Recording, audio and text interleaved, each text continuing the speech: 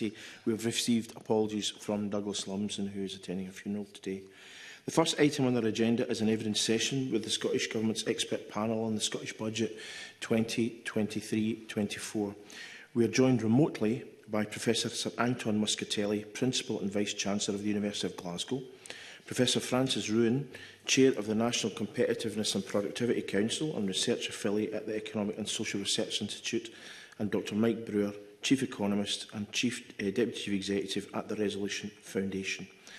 I welcome you all to the meeting and intend to allow up to 75 minutes for this session and we will move um, straight to questions. Now, when I ask questions, not everyone has to answer. I'll, I'll put them through yourself, Professor Muscatelli, and you can decide uh, which of your colleagues wishes to answer. It can be more than one, but it doesn't have to be more than one. Okay, so first thing I want to um, ask about is um, The interim commentary set out the panel's thinking on how the Scottish Government could respond to the challenges it is facing through the tax system and the wider implications for public services and the economy. And it suggests that the Scottish Government will, and I quote, need to balance providing short-term support to vulnerable householders and businesses and investing to grow and improve productivity and resilience of the economy in the medium to longer term. Has it done so? if I can perhaps start, convener, on that, I, I think it's done it the best it can, uh, given uh, the rather difficult situation that we're in in terms of public finances in the UK, and therefore also in the devolved administrations. Um, and I should say, obviously, we're we're not here as an expert panel uh, to comment on the actual budget because it's uh, these are political decisions uh, where spending and, and, and, tax are involved. But what it's tried to do, uh, let, let, me put it this way, what it's tried to do is to try and protect particular certain heads of spending. Uh, we've seen uh, protection of, of, of, health and social care spending. We've seen a, a protection of uh, welfare payments. as a result, it's it hasn't been able, it has been able to, by increasing taxes, it has been able to reduce the impact in real terms on the Scottish budget, but not completely. It hasn't been able to offset that production and real spending, which has come through the erosion uh, of the total finances available to government due to inflation. Um, but obviously, it's, it's, it's, made choices to to prioritise certain heads of spending. I think that that's the best way I would I would put it to summarise it in a way that isn't a sort of uh, a comment, commenting, if you like, on the on the choices, political choices made by the government. But maybe I'll pass over to my colleagues to to give their takes to, uh, on on on on this. I don't know if Mike, you want to come in, and then Francis. Uh, thank you very much, and uh, and good morning, committee. Um, I mean, the, the, context, yes, for this budget uh, was an incredibly difficult one, um, with the rising cost of living, uh, putting huge pressure on household budgets and putting huge pressure on government budgets as well. And the, the Scottish government is in a more difficult position than the UK government because the Scottish government lacks the ability to borrow to sort of smooth out the, to smooth out these fluctuations. Um, so the, the context we're in is that the energy price shock has made the country poorer. And what we're seeing all across the UK is a sort of process of negotiation and bargaining and, and, and political maneuvering as we work out exactly who bears who, who is going to suffer, who is going to bear the price, who, who is going to suffer the most um, from the energy price shock that's made our country poorer.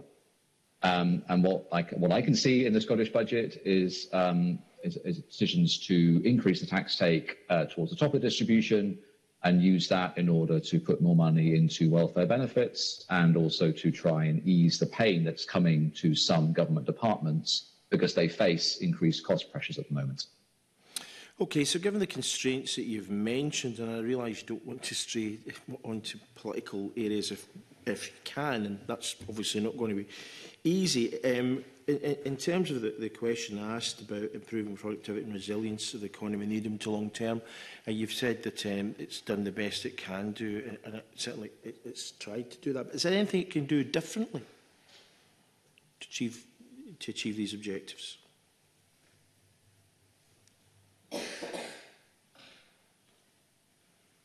I, I think one of the things we said in our final report, which is really important, is that to some extent this year, as uh, the government, Scottish government, has been able to attenuate through its budget through tax increases, um, the impact of uh, of inflation. However, uh, there are more difficult times ahead, um, and uh, we have you know, as he said in my final report, we, we expect uh, simply from the government's UK government's announcement further sort of uh, constraints on fiscal policy uh, ahead in the next couple of years. We don't know, of course, what will happen after a UK election. That may may not get tighter, but even on current projections, uh, spending uh, at UK level will will tighten.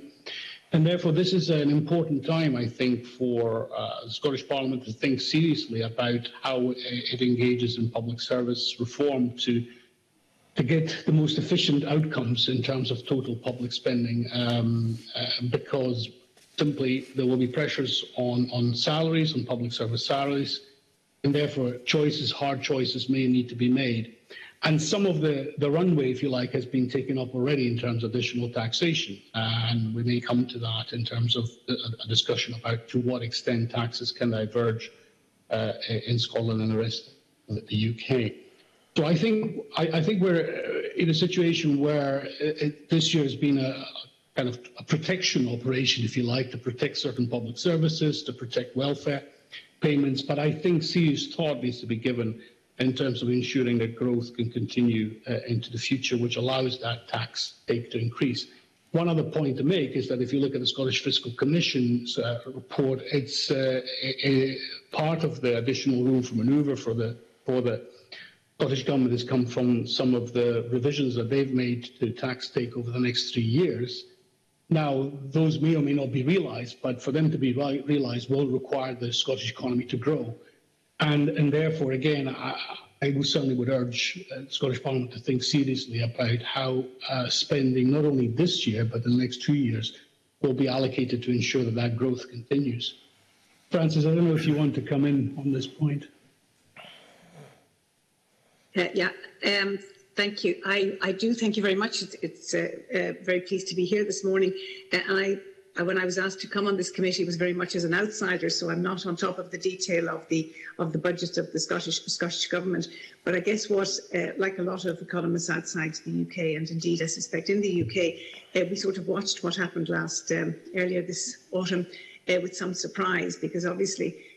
Uh, everybody realises that um, increasing productivity is a very good thing in getting more growth, but obviously you want to do that in a way where the process is smooth and works in the right direction. And the effect of this, I suppose, which I saw when asked to join this group, was that massive uncertainty had, had been created across the, the, the, the, whole of the UK as a consequence of what happened. And even though subsequent changes have made that better, it's still the case that there's massive uncertainty. And I think one of the roles of government in a time of uncertainty is to try to give as much certainty as it possibly can and to me, what's crucial for that is that the short term decisions with regard to a budget like this year's is, is properly aligned with a, a medium, you know, two to three years out view. And I think that was one of the points that we made in the, in the uh, reports that we've given the importance of actually uh, making sure that the um, level of uncertainty is kept, uh, kept to a minimum. Now, at the moment, crucial to that is obviously helping households and businesses who've suffered this huge um, price shock and allowing them to deal with that in the right kind of way and also without getting themselves getting into a situation that I'm old enough to remember uh, when inflation became embedded. So I think the big challenge for governments everywhere at the moment in dealing with inflation is to make sure that welfare issues related to it are well handled, but that inflation does not become embedded in the economy.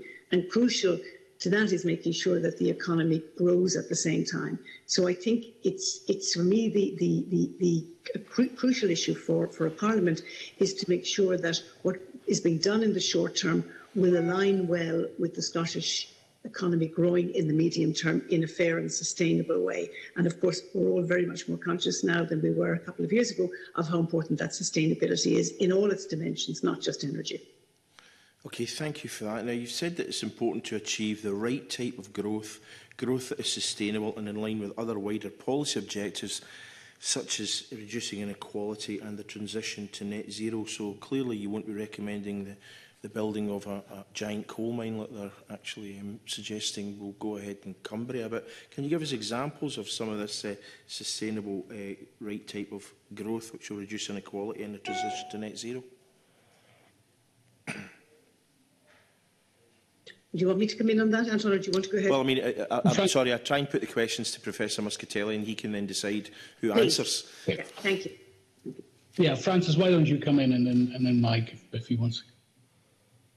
Well, I, I mean, the, the issue in relation to sustainability, I guess, is making sure that what people in Europe are talking about as the is, is, is EU, I should say in the EU, not in Europe, in the EU discuss as the, as the dual transition. So making sure that you're optimizing the use of digital technologies to be efficient in, for example, what Professor Muscatelli mentioned earlier on, the delivery of public services and making sure that the public sector is as efficient as it can be, but also the ones relating to climate, so that you're effectively getting uh, investment taking place that, that uh, is, is helping the climate agenda and is actually uh, if you like, assisting companies and enterprises in getting to a stage where they're well set up to be able to sell into international markets in, in a uh, in a way that, that, that will work two, you know, five, 10, 15 years out and not just at the moment in terms of what is required. Okay, thank you. Now, um, um, Professor Muscatelli, you talked about the importance of public sector reform programme and the, report says that remains uh, key and you add to that there's never been a more important time to the prioritisation and public services and productivity enhancing reforms in the public sector. Now, the Scottish Government's uh, spending review, uh, resource spending review published in May suggested that the public service reform programme will be undertaken over the remainder of this Parliament with additional outcomes to be reported in the 23-24 Scottish budget, but there's uh, no mention of it in the Scottish uh, budget. Is that a, a, an issue of concern to the panel? I think this is something that uh, I, I, think the Scottish Government and the Scottish Parliament need to, to really have in its sight over the next year or so. I mean, uh, I think the pressures, as I say, will increase in the next couple of years uh, on the, on spending at UK level, which will have its consequences through through the Barnett formula allocations.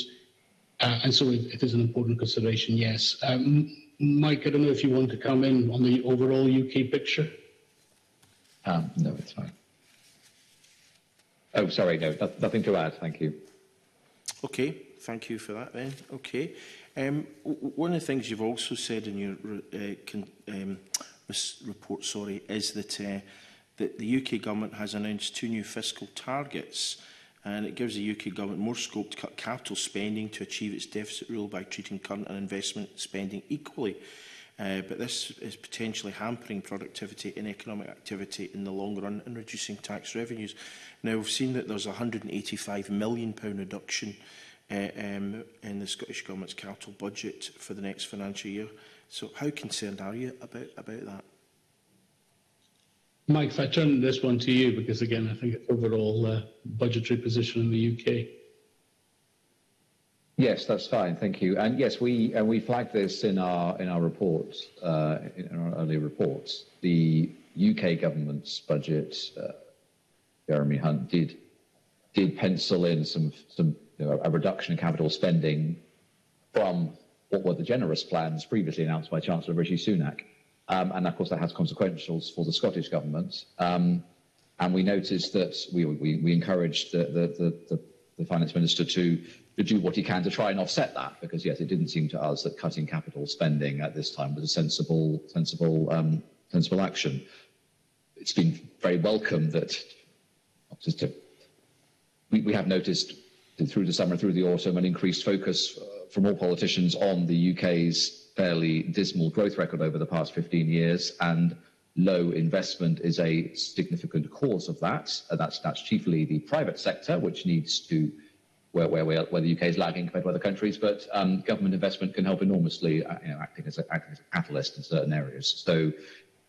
yes, we've been urging the UK government not to cut its capital spending plans. Um, and um, we, in our report, we, we encourage the Scottish government to do what it can to do what it can to try and offset those. But uh, as I, as I said in my earlier answer, of course, it's limited to what to, to how much it can. Um, it's essentially already already taking full advantage of its ability to to borrow to try and you know, try and offset the cuts that would be coming to the capital budget. Yes, I mean, you've said that the UK government's decision not to enhance capital funding, given the high levels of inflation, uh, will lead to a steep decline in the purchasing power of Scottish Government investments. This may hamper the Scottish Government's ability to meet its net zero targets and damage the economic recovery. Uh, yes, absolutely. I mean, I completely, completely stand by that. Uh, I, say that I think we're, we're pointing the, the finger of blame principally at the UK government, and then in, and then in the way that the way that there are financial consequentials for the Scottish government. Um, we made recommendations, suggestions to the um, to, to, the Scottish government, um, but as I say, they are they are they are quite heavily constrained into how much they can um, off, off, offset offset the cuts in capital spending that are coming their way because of decisions in Westminster. Okay, thank you. And just one final question for me before opening up the session to colleagues around the table, and it's about uh, taxation. Uh, we see that uh, fiscal drag is going to um, increase income taxes quite considerably over the next few years, um, and you've said that um, the, um, the Scottish Government should continue to consider ways that the tax system could be made fairer and better aligned to improving productivity and well-being, either through reforms to existing taxes or through the introduction of new taxes. So a couple of points. Um, well, first of all, by 27-28, what kind of um, share of GDP will be taken up by taxes um, compared to now? And secondly, when you say fairer, fairer to whom? Because we have an anomaly in Scotland whereby people who are earning, say, £45,000 a year on marginal tax pay 52%, will, will pay in, in next financial year 42% in income tax and 12% national insurance, given a marginal rate of 54%. And of course, on the remainder, they'll have to pay excise duty and VAT and all the rest of it, depending on what their lifestyle is. So, um, but people over £50,000, of course, the national insurance level falls to 2%, so their marginal rate's actually significantly less. So when you say fairer, how can the tax system be made fairer given these anomalies? Perhaps if I could address the second part of your question, convener, and then my colleagues may want to come in on the first part, Mike, particularly on the overall tax uh, um, take as a share of GDP at UK level.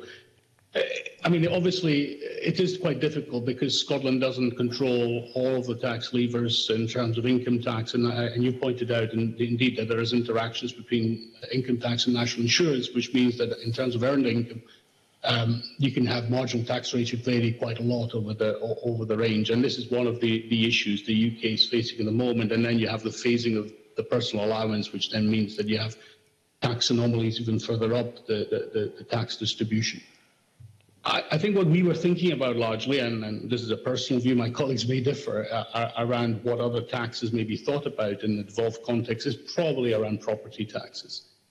Um, there is, I mean, if you're trying to make the tax system fairer, the one bit that's probably less progressive, I mean, the income tax system is more progressive in Scotland than there is elsewhere in the UK because it puts greater burden on those with higher incomes.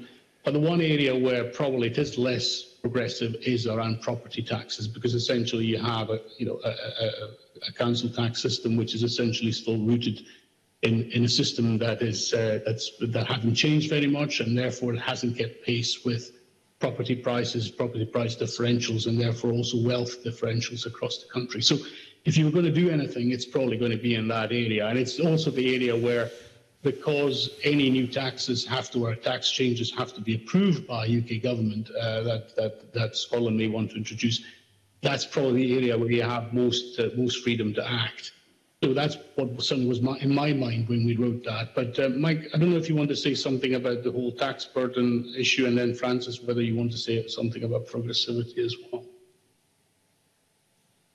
Uh, yes, with apologies, convener, I haven't got the figures to hand to answer your precise question, but I know you are talking to the Scottish Fiscal Commission later this morning. I hope they can be more helpful than I am. Mm-hmm. I can. On the particular issue that, that you raised, um, I think what stepping back and looking at this the situation from from London, what I see is the, the situation you describe is is, is the is what happens when you have um, the Scottish government in control of some personal tax rates, but not all personal tax rates. Um, and indeed, I, I, I, I was going to make quite a similar point um, thinking about the child benefit withdrawal, which affects families, uh, family, main, the main earner and families with children who have an income between 50 and 60,000 pounds, who see their marginal rate go up by 13% if they have one child and a further 8% if they have two or more children. Of course, a, a UK-wide policy which which the Scottish government has no control over, um, but you know which which which we must also think about when we're thinking about the marginal rates. So you know there are yeah, problems can arise when different bits of government control different bits of the personal tax system, and they and they can then interact in ways that you that you describe.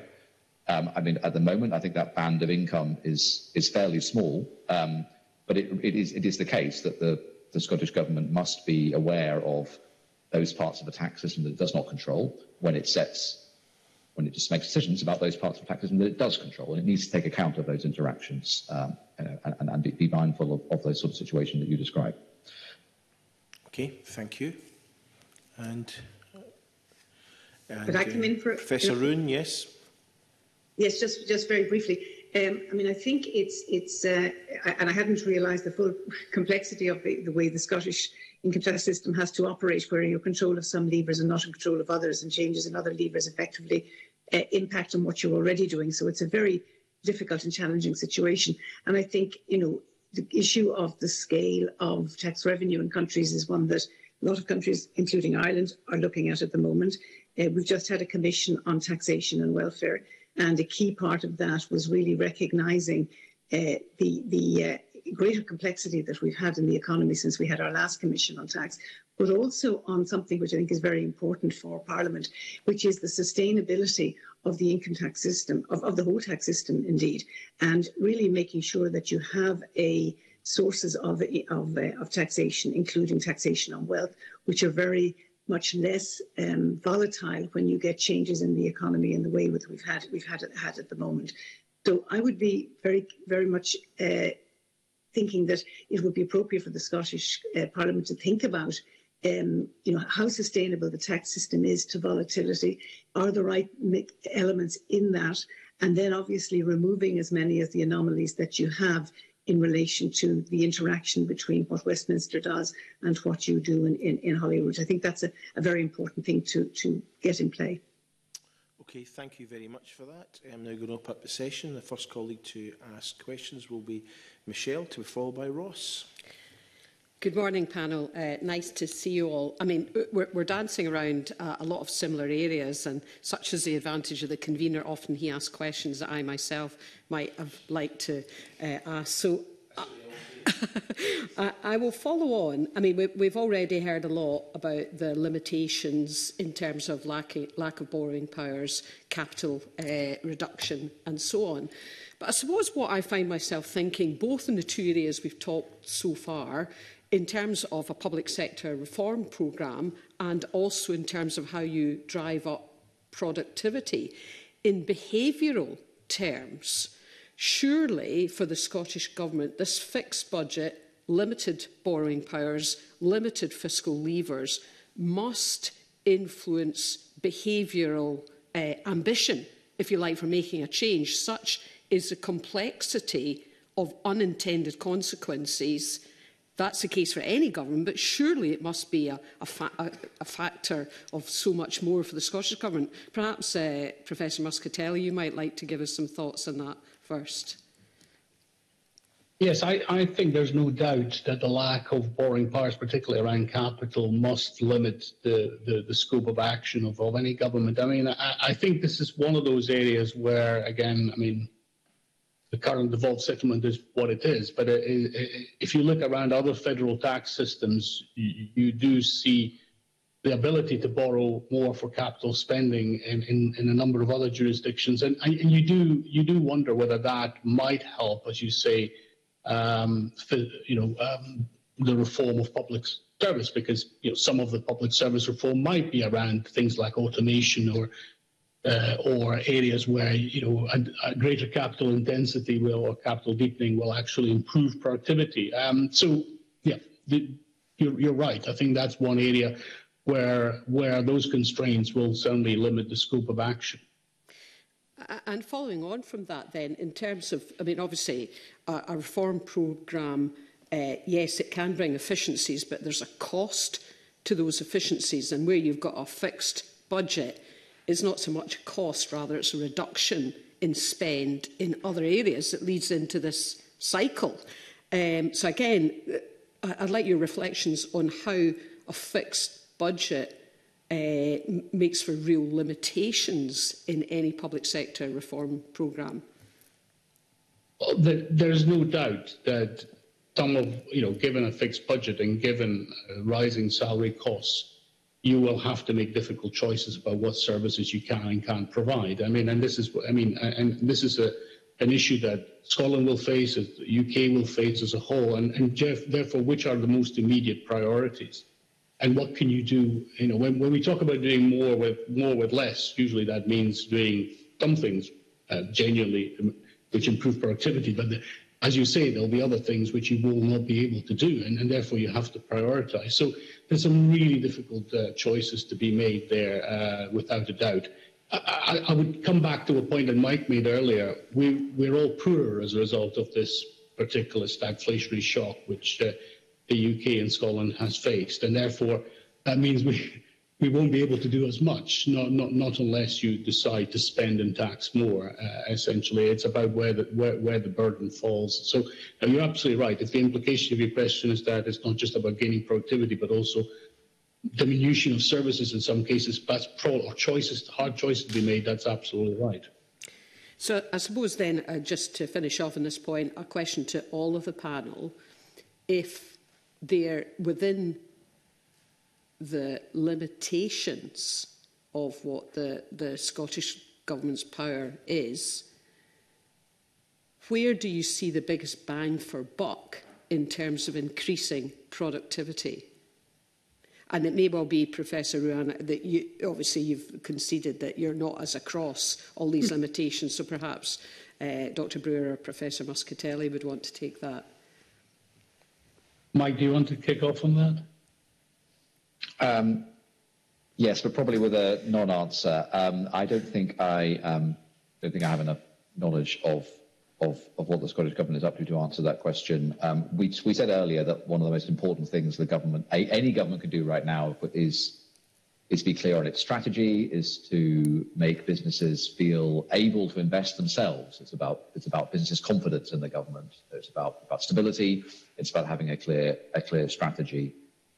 Um, and I, I, see some I see some of that in the in the in the budget Deputy First Minister announced. Um, I also note that some decisions have been put off, um, quite rightly probably because of the uh, severe challenge caused by the cost of living crisis at the moment. Professor Muscatelli. To do with spend and therefore not all to do with the budget. I mean, I think one of the things uh, certainly the, the Scottish government and the Scottish Parliament needs to reflect on in the next couple of years is again it's back to this point that Mike has just made. How do we ensure that business investment remains, uh, you know, grows because it is very low in the UK as a whole at the moment? And some of it, it may not be to do with spend. It may be to do with uh, with important, uh, you know, with, with around areas like regulation, around areas of how you you manage to drive innovation or co-investment between public spending and private sector innovation and investment and we made reference in, in our first report, I think, in a, around the National Strategy for Economic Transformation. I think that has to be pursued with vigour um, because that is aimed at trying to really genuinely lift in, uh, uh business investment and productivity. And it seems to me that I, uh, if I were in Parliament, I would I, uh, that's what I would be asking for evidence of how that's being driven and what co-investment is taking place between the private and public sector in, in, in those in those areas of action. Okay, thank you, Convener. Thank, uh, you. you, Michelle. Uh, Ross, to be followed by Daniel. Thanks, Convener. Excuse me. Uh, just returning to the point around um, capital uh, powers and the recommendation you've made for Scottish Government to maintain capital spend, you acknowledge, Professor Muscatel, you acknowledge the government's limitations when it comes to capital borrowings. I just want to understand a little bit better how you think uh, the government can maintain capital spend when the capital budget is largely set for it through the, the settlement from the, the UK government, because the options are essentially, um, you, you may think that the very limited capital borrowing powers are, are not being used well enough, uh, or that we could increase taxation further to increase capital budget, or it could be a question of reallocation within capital because there's a belief that some capital spend is, is not efficient enough and that we could get more bang for our buck as such through reallocation. It, eh, could you just expand a little bit on how you think the Scottish Government can achieve that recommendation you've set out given the, the limitations that you've acknowledged? I mean, if I, am happy to kick off, but again, I don't know, Francis and, and Mike, you may want to come in. I, I, I think there are limited levers here. I think one possibility will be around um, trying to seek areas of co-investment, as per my previous answer. I think one of the other areas will be around seeing if there is any any room for move from revenue to capital, um, but that will put even more pressure on public services. But these are all things I think they need to be considered if the trade-off is around creating more fiscal space in future because you then grow the economy more, and that means you have you have more resources at your disposal in, uh, uh, in due course. But look, I, I, don't pretend that this is going to generate, you know, uh, hundreds of millions of pounds. I mean, we're talking here about actions at the margin, as, uh, as you suggest, and I, in, and as the budget clearly sets out, a lot of the the, the pre-commitment around the capital spend is around areas like you know, the, the, drive to net zero, which is clearly hugely important anyway in terms of, of sustainable growth. But Francis, and um, do you want to come in on, uh, on this? I mean, it, it, it, it's maybe very obvious, but at a time of global uncertainty, what you want to do as far as possible is for government to play the role of giving as much certainty as possible. Now, clearly, Westminster did the opposite in the early and the autumn. But if you look at the Scottish government going forward, I think trying to be consistent and having, to be quite honest with you, what we call boring budgets, budgets that aren't full of exciting surprises, but are doing the, the very standard, steady, piece that's going forward. And for me, the important thing would be to make sure that the capital spend is not reduced as a way of dealing with current problems and, and ignored, but that capital spend is done in tandem with the the the the the, uh, the, the, current spend, the revenue spend, as you call it. Uh, to me, that's a really important one. And if you're talking about, I chair our Competitiveness and Productivity Council, and one of the things that's very clear from the evidence we have looking in at what companies are doing they depend very much on, on the level of certainty given very often by the markets, but also given by governments. They want to know that if there's a scheme in place this year, it's not going to disappear in next year's budget or be changed around. That kind of volatility really does not help investment, which is exactly what you need for productivity growth. And the other issue is making sure, with regard to productivity, that governments spend on things like skills generation, are, you know, make sense in the context of the way in which the Scottish um, economy is developing as it, as, as, as it modernises and goes, through different phases. So I think there's a lot of work to be done to ask questions on whether certain uh, elements of capital and, and, and revenue expenditures that they both are in tandem with each other and they make they make sense that they reinforce each other because productivity is a long game it's not a short game thanks very much could i ask if anyone on the panel and perhaps this is best directed at yourself, Professor Muscatella, as, as our domestic expert as such. Um, do you have any views on whether the government is using its existing capital borrowing powers effectively enough, acknowledging that they are extremely limited? H have you looked at all at whether or not they could be better used? So we haven't looked in detail the particular projects, if, uh, if that's the question. No, uh uh, uh, uh, we've been looking looking more at the at the overview and whether they're they're fully met, and, and they are fully fully expended. But that's that's. But I haven't looked at the detail of of individual projects, so I can't comment on that. Thanks. And sticking with, um, well, actually, no, I'm going to swap over slightly. Switching to, to uh, tax, actually. Um, and your recommendation around continuing to make the, the tax system more progressive. I'd be interested if, um, if you have any views on the papers that have recently been published by the STUC and the IPPR, which largely focus on the introduction of new tax powers, that both those papers included proposals around changes to income tax, NDR, etc., but they focus primarily on creating new powers, particularly around um, property taxation, like you mentioned, Professor Muscatelli. And I'm conscious of time, so if I can roll in a, a second question here, very specifically on the higher tax band. Do you think the, the range in the higher tax band um, is now too large? Should we be taxing people who earn between 45 and 60 grand at the, the same rate for that portion of their income that we do for people who earn between 100 and 125, for example? Right. Uh, well, on, on, the first point, I, I mean, I, I, think the easiest way to introduce any additional taxation which targets higher incomes or higher wealth in, in, in Scotland is probably around property. It's the only the only feasible thing to do because any new taxes have to be ultimately approved by UK government. And uh, I cannot see uh, any sort of attempts to say tax financial, um, you know, uh, uh wealth differently in Scotland. It, it, wouldn't it wouldn't be approved. And secondly, it would be too easily uh, eluded given the, uh, the, mobility of that land. Ultimately, land is the only thing that, that isn't easy to, land and property is the only thing you can tax if you want to make the system more progressive in targeting wealth as well as income. Um, and uh, in terms of what's been published by SGUC and others, I mean, I, I, I mean, I, we referred to one of the IFS papers around the Deaton review, which I think shows actually that if you if you do look at targeting particularly different types of income uh, and and and you know land land included and property, you can actually uh, uh, gain some of the effects that you would from a wealth tax effect, effectively, but not directly targeting wealth, which you couldn't given the current devolved powers.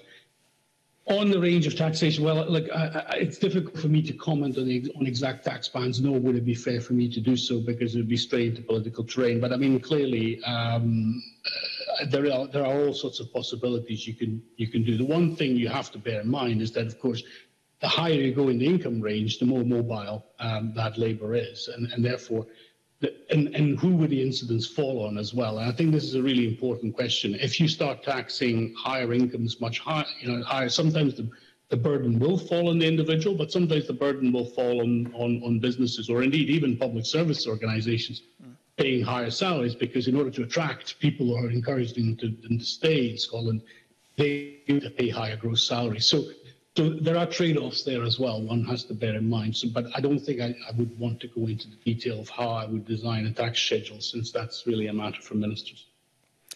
Thank you. That's all from me, convener, unless anybody else on the, the panel wants to pitch in on that. Okay, Daniel to be followed by John. Um, can, I start with a, a follow-up on uh, both the answer you were just giving there, Professor Muscatelli, and, and previously about property taxes? You, you've said twice that that would require Westminster approval. Now, assuming that what you're talking about is reform of council tax and non-domestic rates, and, a, and, and, I, and I, I think that a, a property tax or a land tax is a very good candidate uh, for, for replacing one or both those I'm just wondering why you're saying that would require Westminster approval, because that, that is fully devolved if you were using it as a replacement for those uh, sources of local taxation. Just, uh, if you could just clarify why you're saying that. I, I was simply saying that in relation to any new taxes, so not, not to reform of, of existing taxation, which is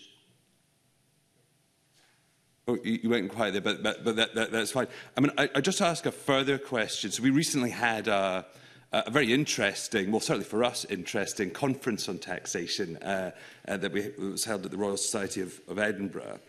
Uh, and, and I just want, I mean, in my view, if you're going to re reform those taxes, uh, uh, and, and uh, you would want to do them both hand in hand, that, that, that, that, that, that you know, essentially they're, they're both property-based taxes, but they've, they've diverged quite significantly. And I would say council tax was all, only ever sort of a temporary fix. Do, I mean, is your view that you would want to reform both of them hand in hand? And indeed, would they both need to essentially be based on the same underlying uh, principles, i.e. if you went for a land value tax, you'd want to do the same? Or do you think you could have a property-based tax for residential taxation purposes and a land value tax for commercial uh, I mean, do, do you think you need to do it in the round and do you think you need a, a consistent approach to both commercial and residential uh, taxation? I think it would make sense uh, to to do it in in in in you know uh, in a consistent way across the piece. Yes, absolutely. And and I think at the same time look at the progressivity of it uh, and and how it and also where the incidence ultimately lies because I think that's the, that's one of the one of the issues. Uh, if I remember correctly, the the RSE sort of uh, discussion around that. It's it, it, it, you have to look at it in the round. Absolutely, no, I would agree with that. Um, so uh, uh, uh you also stated that, that, uh, in essence, this budget was about uh, dealing with the short-term shocks that we've had and, and indeed potentially the medium and long-term consequences. I, I just wondered whether or not the panel considers that there's sufficient focus on those. So while I think that, there's clearly been a real focus on, on trying to create the, the, the, the, the envelope for pay awards. Um, we're also dealing with uh, labour market shocks. We're dealing with a uh, utility price shock. But if we look at what's in the budget, essentially we've seen reference to the warm homes uh, uh, uh, uh scheme, uh, warm buildings scheme. Now that was one of the budget lines that was actually cut in the September emergency budget re re review. I mean, likewise, when we look at uh, you know pay and the, the consequences in, in the health service, we know that. Uh, uh, delayed discharge is one of the key issues. And again, what we saw was a 3.8% increase in the minimum uh, pay. So I just, you know, while, while I cannot, you know, I think that, it's fair to say that, that, that the focus has been on creating the, the, the envelope for pay increases. Is there sufficient focus on dealing with essentially getting people off gas or less reliant on gas, dealing with labour market uh, shocks, dealing with the, the, the short-term uh, uh, issues that we're facing in our most fundamental public services, such as the, the, the, the health service. Do you think there's that focus in this budget? Perhaps, I mean, I could say a word or two and then pass on to Mike, because again, some of these policies uh, have been enacted at UK level, so he may want to, to, to relate it to that. Look, again, I, I don't want to stray necessarily into political terrain as to what choices, you know, I, I, I would have made or I would have uh, recommended in terms of the detail of that. But there is no doubt that anything you would do around, um, you know, uh, uh trying to cushion the, the impact of of um, of energy prices is a huge, is hugely expensive. And that if that if that hadn't been the focus, focus had been on uh, had been less, as you say, on protecting the, uh, the, the public service budgets from the salary increases, inflationary uh, uh, uh, salary increases, but on other initiatives, I think it would have really put a strain on public service budgets. I mean, uh, you could see the arithmetic of it would tell you that that's quite quite expensive. There would also be an issue of the interaction of anything that's done at the involved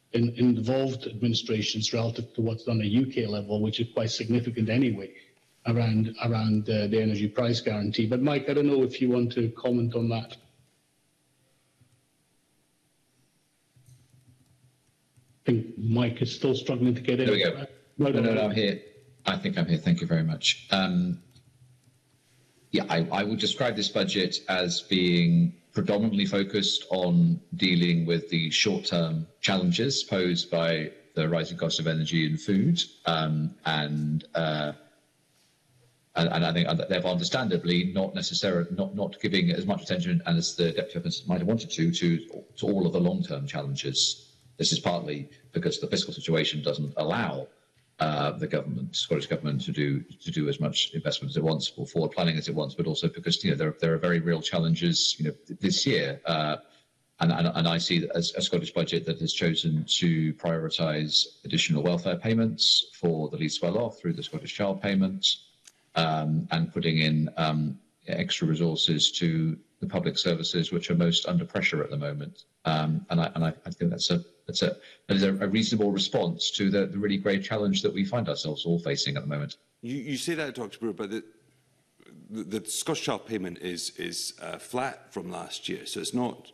it's not going to increase. In fact, that would be a real terms decrease, would it not?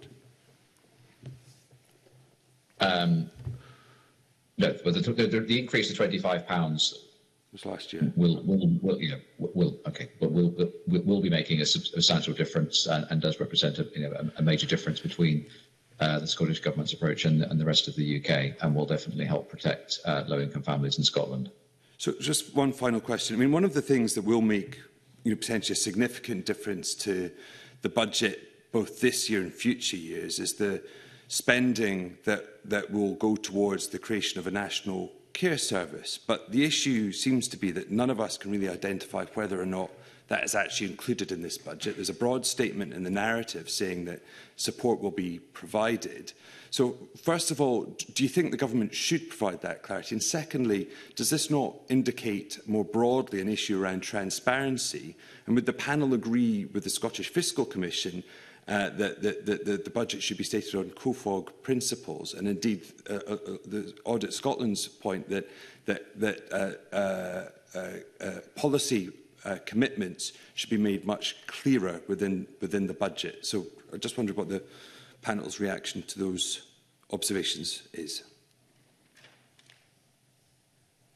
I mean, I'm happy to have a quick uh, go at that, and I don't know whether Michael or Francis want to come in. Uh, there is absolutely no doubt that in the case of major commitment like the social care uh, element, there needs to be transparency in this. And I mean, I wouldn't wish to second guess Audit Scotland or any of the Scottish Fiscal Commission on what they said.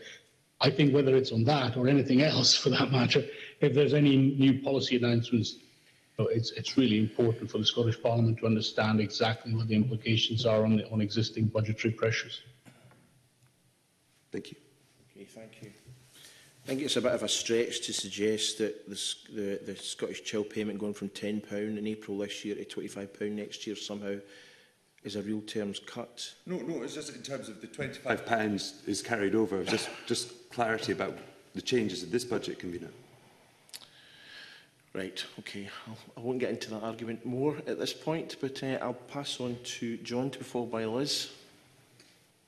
Thanks so much, convener.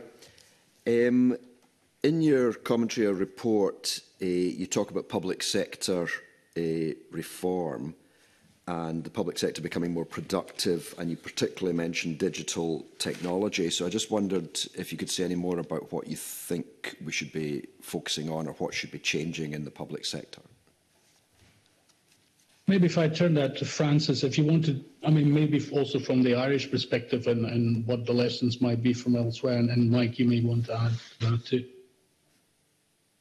Um, just, I mean, I, I, guess it's a little bit like motherhood and apple pie. Public sector reform is always something that everybody sees as good. It's very challenging to do. It takes a long time to do, and it needs government to be consistent. We've had issues in Ireland over the years where um, not having a sum of money available to invest in digital, um, digital, uh, I suppose, uh, services, if you like, it has slowed things down. What we were, as many countries were uh, faced, if you like, was an awareness that under COVID, it was possible to do an awful lot more in different ways than had been done previously. So there was an enormous realization of the potential that's that's there. I think the issue with um, with healthcare in particular, the use of digital in healthcare, I think is really, really important in terms of it being cost effective, in terms of it minimising bu uh, burdens on both patients and on, on professions, I think, I, th I think is there. Um, it's, it's not the answer to everything, but I mean, this change in scale of digital is something that there must be capital money left, I think, to, uh, to allow for that to happen. That's, that's the major driver that uh, would point to a difference between the public and the private services if you're talking about very large scale, large scale bodies. And um, just in relation to what Professor Muscatelli said earlier, one comment I would make is that, and I think in our, our first report, we referenced the need for a realization of, of what this shock has been. You know, this is not just, a, it, it, it's, it's a terms of trade shock. It's meant that we're all worse off.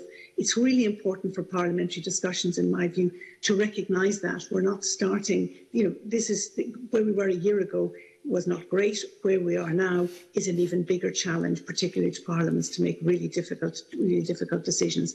And I think that's a, that having that open discussion and recognising that, I think, is, is, is in the interests of uh, everybody, including including all all of the, all of the, um, the members of the population of Scotland. Okay, that, that that's very helpful. Thank you uh, very much.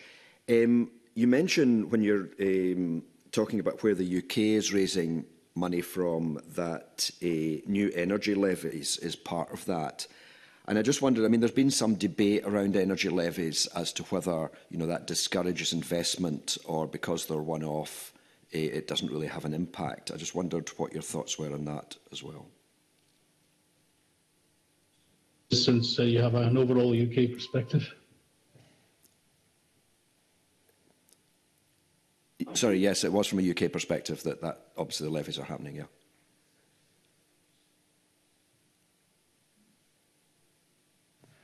Sh- shall I start? Sorry, I, I, didn't hear who you addressed the question to. Um, let, let, me let me start. I mean, our view, my view is that um, if now is not the right time for a windfall tax, which is effectively what these levies are, then when is the right time for a windfall tax? Um, the profits are being made by oil and gas companies and by electricity generators, which are entirely due to events outside of their control. That seems to me to be the ideal time for a windfall tax. Um, if uh, it, it's, I think it's very, very clear from the way the UK government has announced them that it sees them as being temporary, and I think the way that they are they're operating should mean that um, in, investment is not is, is not is not lower than what it would have been had there been no energy price shock. Okay, thank you. Um, moving on Um, I, th I think, as I understand it, your emphasis is you're more concerned about what's going to happen after two years, uh, perhaps, than uh, immediately. And you say adding future fiscal commitments or, or pressures at this time, given the spending outlook, is unwise and would require a larger subsequent adjustment. So I was just wondering if, if you thought things are happening, there are future fiscal commitments being made that shouldn't be made, or if this is just a kind of general warning that um, we shouldn't be making you know, major new commitments at this time, given what Professor Ruane just said, that uh, the whole country is becoming poorer? the latter point, uh, the, the, latter interpretation. Uh, I, it's basically not suggesting that any un, unwarranted commitments are being made now. And, you know, uh, as we said, the, budget budget's constrained anyway, but that harder times may be upon us in terms of total fiscal spending depending on what happens uh, in the next few UK budgets. And, and, just to just again to illustrate the point, and I think it's really important to some extent what the UK budget did in order to try and stabilise uh, the sustainability of the public finances, the debt to GDP ratio, was you know pain pain postponed, you know spending controls coming in later on, slower spending as a as a proportion of GDP uh, and capital capital spending reductions. So we have to prepare for those. That's that's essentially what our warning was in in, in the report. And also one other point. Uh, the Scottish Fiscal Commission, uh, and I, and I, know you're speaking to them after us, have have actually improved their their forecasts around uh, Scotland's tax take. Now, that is largely, as I read the report, a lot to do with with uh, a more favourable interpretation around around employment levels and and and, uh, and you know income tax take. That you know may turn out to be correct, but you know uh, that's one of the riskiness of, of of of Scotland relying on on its income tax base.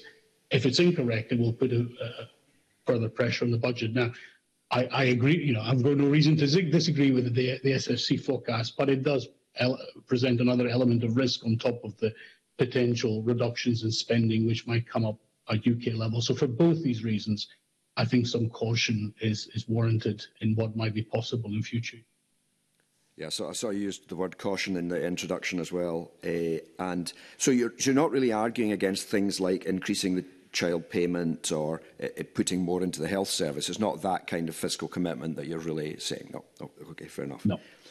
Um, I saw you quoted uh, Andy Haldane um, as saying that uh, the situation around health is having a break on economic growth. C can you just maybe expand on that? Do you think uh, actually COVID, long COVID, waiting times in hospitals, that is actually having an impact on the economy at the moment. Mike, do you want to say something about this? Obviously, because again, this is a UK wide concern as well what is happening around participation rates in the labour force, etc. Yes, of course. Thank you. Um, that, that is an excellent question. Yes, I, although the evidence is not clear, there, does, there is an emerging story that uh, that that, you know, that, that, that rising levels of ill health are, are now beginning, well, not beginning to hold back the economy. They, guess they've always held back the economy, um, but that the health of the UK population is declining, um, and it is, and, and that is uh, leading. Uh, that does mean that we are less productive as a nation than we would be otherwise. Um, the obvious the OBR pointed that out for the UK as a whole, and the Scottish Fiscal Commission have commented on this for Scotland. I don't think we know whether that is how much of that is due to COVID. Um, I note we, some of our own work has shown that uh, uh, part of the reason for the increased uh, worklessness is due to mental health problems as well as physical health problems. So I don't think COVID is exclusively the cause, but it, it is it is definitely the case that the UK is getting sicker. We can see that in, in labour force surveys where people report they're inactive because of their health. We can see it in the number of people claiming disability benefits, um, and where I noticed that at the UK level, the OBR um, had, had have you know, written in a for a sharp increase in disability benefit claims over the, over the next two years. And yes, in, in more recent months, we are also seeing people make the links between NHS waiting times and some of that inactivity. Um, and certainly the NHS waiting times uh, in England are you know, much, much, much worse than they were have been in, in the previous decade. So I think the evidence is building, um, and uh, uh, yeah, we, we do need to be concerned about how the health of our of, of our of our nation is is then having a feedback to to the economy as a whole. And of course, there is a there is a vicious circle here. The less productive the economy is, the fewer people are in work, the less tax revenues we get in order to pay for the health services in the first place. So I think that I think all governments need to be uh, very wary of of this. Okay, uh, that, that's very helpful as well. And I think the final point I have, and I'll, maybe it's yourself again, uh, Dr Brewer, to start with. You, you mentioned that um, although it's normal for debt to increase during a recession, the UK has failed to address the accumulation of debt following the financial crisis and the pandemic. I mean, should we be worried about the level of UK debt? It's um, very hard to answer. There's no, of course, there is no magic threshold above which uh, yeah, the country is in deep, deep trouble and below which everything, everything is fine. Um, what it is ultimately up to um, banks and uh, overseas organisations as to how whether they want to lend to the UK government and at what price. At the moment, uh, apart you know, after the brief kerfuffle in September and October, they seem willing to lend, to be, want to lend to the UK government at a reasonable rate of interest. Um, but but you know, we, we, we cannot take that for granted, and were the UK finances to be on a to, to be look like they're on a on a track of debt rising unsustainably, then then, then that, that would be a problem. We would see interest rates uh, rise on government debt, and we would be in danger of a of a, of a, of a dangerous spiral.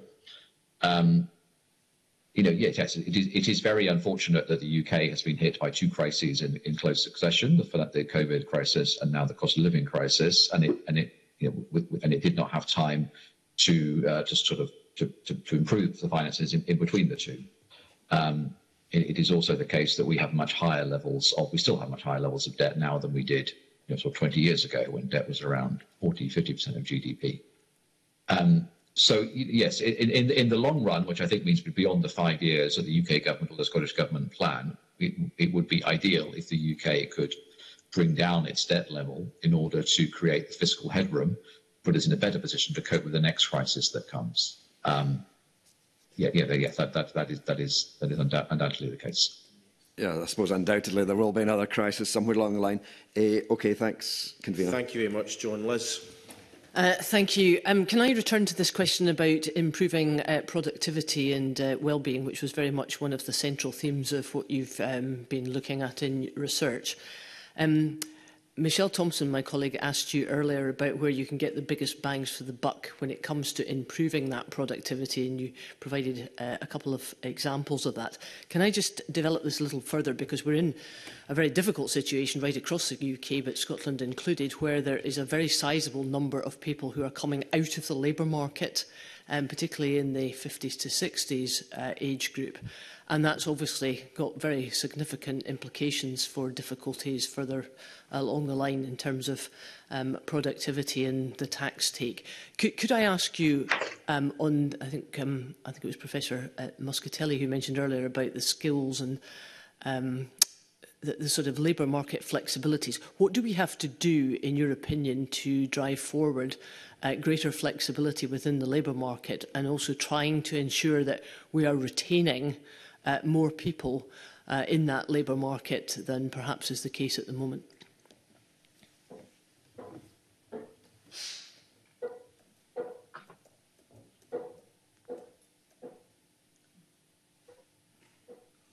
around clearly around skills formation and, and whether we are producing the right skills and ensuring that we continue to invest in, in, in skills. I think that'll be one of the important considerations for Scottish Government going forward. At UK level, I have to say, I mean, you've probably heard me speak about this before. We need to look at how we use immigration to try and uh, address some of the overall uh, issue around skills. I think one of the damaging elements of Brexit has been the fact that we are not able to attract as many skilled Europeans to uh, as easily to, to, to, the to the UK. And now some of that has been obscured by COVID, but I have no doubt that in the next three or four years that would be an important consideration. How do we plug those gaps? Um, I think Mike Brewer has already addressed the issue around health and decisions to retire early. It'd be interesting to see how that dynamic works out. I think still more work has to, uh, more research work has to go into the, the, the, that data on what exactly has caused the great resignation or the early retirements of a lot, a lot of people or the people dropping out of the workforce for health, uh, mental health, and physical health reasons. Uh, so it's a complex problem, but I, I, I, probably would say that we need to make sure we plug those key skills gaps and, and therefore what investments we put into the skills base is going to be important. But again, at UK level, we need to look at what we do in terms of ensuring that we bring in the skills that we need that we cannot generate ourselves in short and short order mm. um, to make sure we're not held back over the next few years. Yeah, I, I accept that point, uh, Professor Muscatelli. Can I ask you, uh, which I know is an issue obviously very close to your heart, about the university sector, given its uh, role in developing innovation and the digital technologies and, and really helping to upskill um, people as well. W what else do you think that the university sector has to do uh, to improve uh, the future skills of the graduates who are coming out from the sector? I think I, I, think that's again a really interesting question. I think there'll be a greater challenge on all of the tertiary education system, further and higher education, to make sure that we we we uh, are able to to upskill um, I mean, through the upskilling courses that the Scottish Funding Council funds, but also through our you know our, our basic sort of undergraduate and postgraduate provision. We we target particularly those areas where the economy has bottlenecks uh, and, and so increasingly, I think we need very clear signals from, you know, we as a, we as a sector need to capture those very clear signals from the labor market and ensure that we, we, we provide uh, we, we, we provide in those sectors in, in those uh, in, in those courses. Again, I think measures like the graduate visa route are really important. I mean, the kind of measures that the UK government's brought in there are really important because, again, they allow talented students to come and, and, and study in the UK and then perhaps stay on, particularly in key areas like health, in key areas like digital technologies. Uh, and again, you know, those kind of measures I think we need to sustain at UK level um, because that's where immigration policy is set. But I don't know whether, uh, Francis, you want to come in or Mike.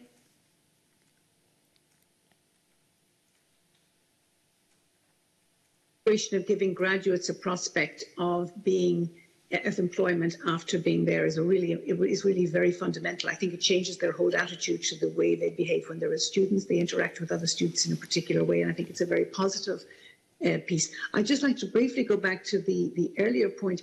I am just looking at a chart this morning uh, on, on uh, I think, produced by the OECD on changes in activity levels in uh, the UK versus a whole load of, of well, all the OECD countries. And the UK is up there with one of the highest increases in activity levels. I think it would be very useful for Scotland to have a look at its its position in relation to that to try to understand it.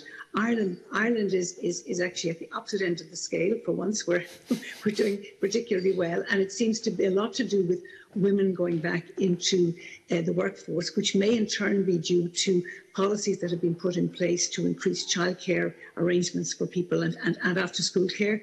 So it's just interesting, just looking at this chart, I mean, you're, you're into a plus three and we're into a minus four in terms of reduced inactivity rates. So I think Scotland may not be the same as the rest of the UK. I think it'd be useful for you to have your own look at that and not just take it that it's all happening in the same way. I think it's a lot more heterogeneous as to why you get these changes taking place and they, I think they do merit, merit attention. Thank you.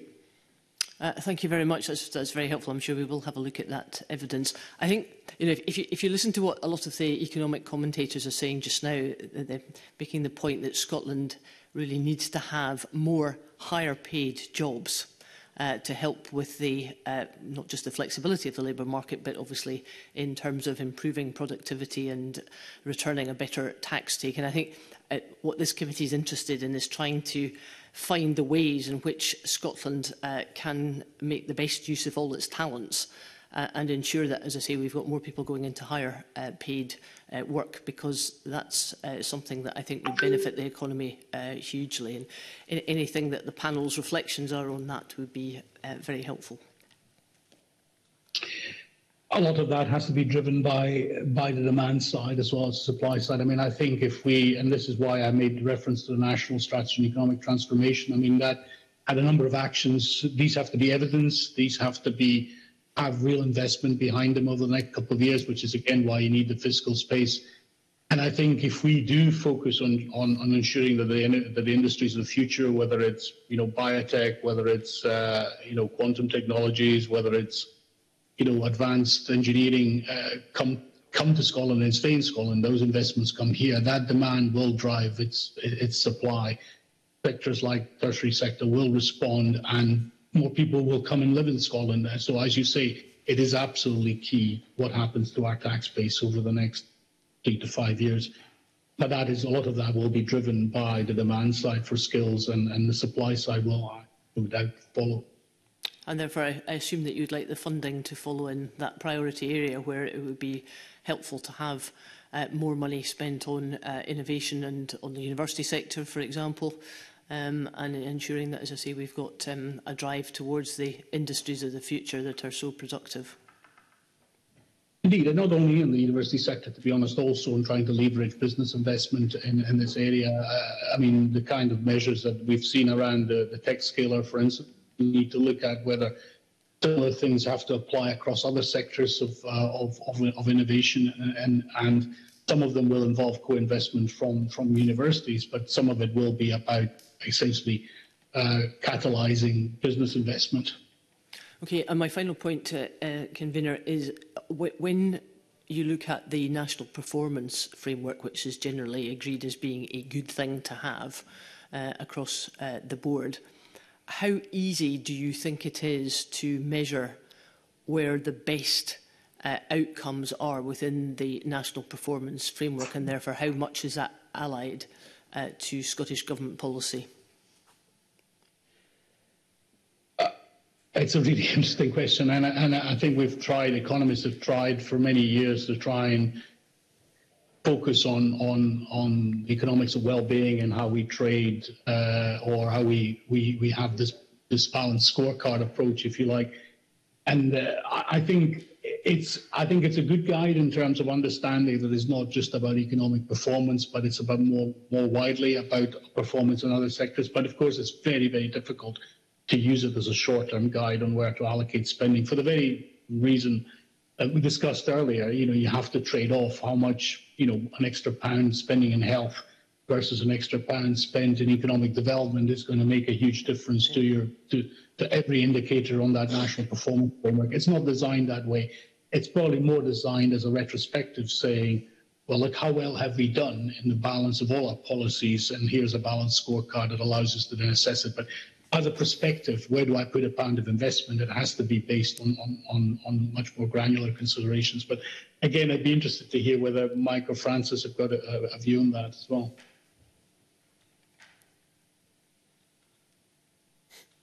Francis? Again, no, well, no, I, I mean, I think, I think, I think the, I think the, you know, we all want metrics to see how we're doing, and we want to use them to make sure that we're doing more of what's giving us a high return, the obvious, and getting out of things that aren't going, aren't, aren't doing it. I think it, I think it shouldn't be overly. Um, I think one takes said, you know, everything to do with productivity is medium to long term, and this was the most extraordinary thing about the September um, fracas, what I call a fracas in Westminster, was really that it was about achieving productivity growth by Christmas uh, I mean, short of Santa Claus, this was quite an amazing concept.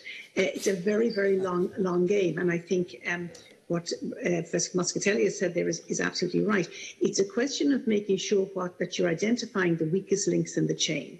So if the weakest link in the chain is underinvestment by Scottish uh, enterprises here, then you need to look at that. If the if the one is the fact that you don't have the skill sets, that people have got a talent shortage in areas where they want to grow jobs, then you need to be looking at that. So I think that that approach of looking at where the constraints are, the barriers are to productivity growth is actually something that, that every country can look at. And, and I think it's quite, it's quite revealing. And sometimes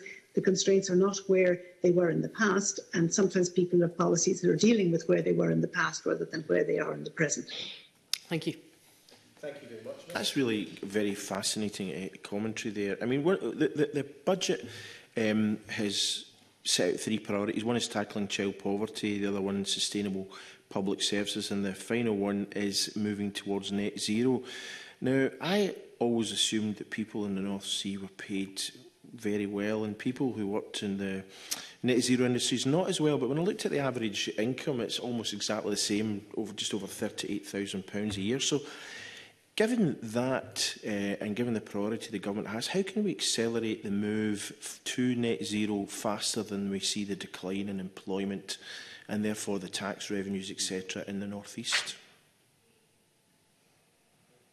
Well, it's a, it's a really interesting question, and I'm not a huge specialist on, on energy economics, so uh, I'll, I'll, I'll, try, I'll try myself, and colleagues may want to come in. I think a lot of it is around ensuring that uh, it, you know, it's back to the point about trying to make sure that we fund innovation properly, that we fund co-investment properly with, between uh, the, the research sector and, and, and, and it encourages companies to locate here. Because ultimately, highly paid jobs are, are, are driven by having a large segment of the value chain here.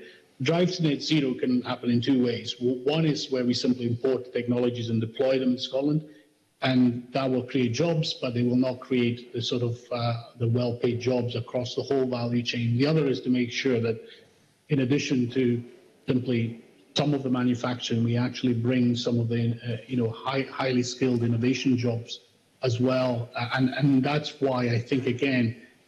Come back to the national strategy and economic transformation. It's looking at across the whole value chain it's looking not only at particular sectors, but it's looking at actual technologies and how Scotland can, particularly in those platform technologies, play a role. We've got some of the best universities in the world. Uh, let's make sure that we, we exploit that research basis uh, as per uh, Liz Smith's um, question earlier.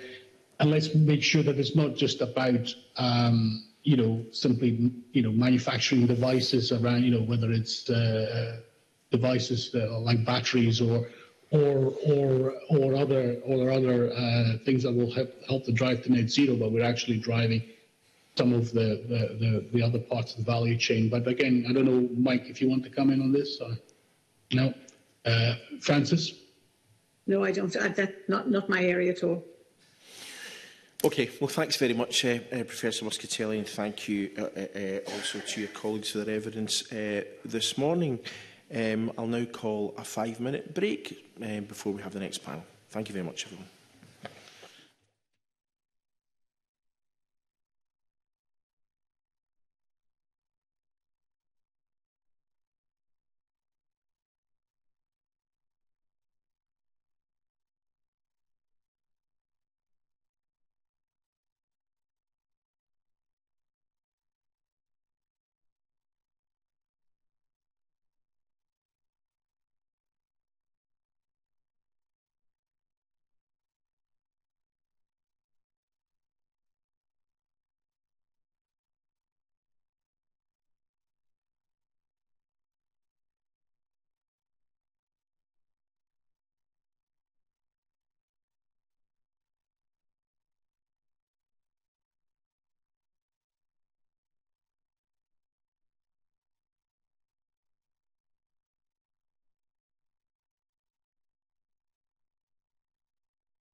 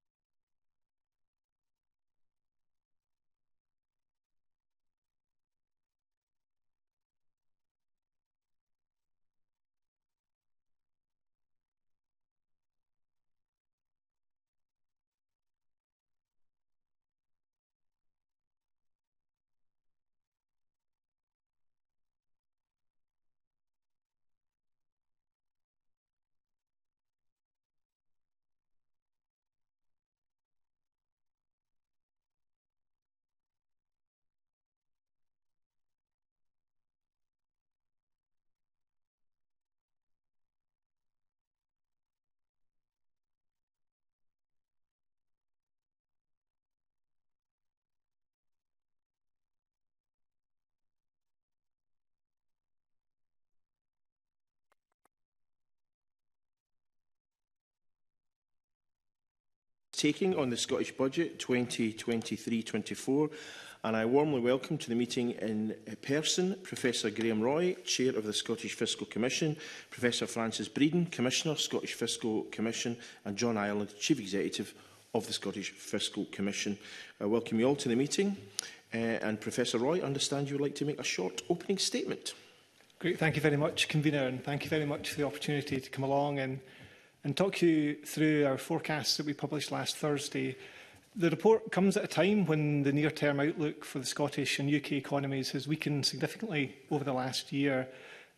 We estimate that the purchasing power of household incomes is anticipated to fall by the largest amount since Scottish records began in 1998. Inflation is on track to peak at around 11% by the end of the year and it will outstrip earnings growth across our economy. Now, inflation is expected to drop sharply over the next year, and household incomes should start to recover in 2024-2025.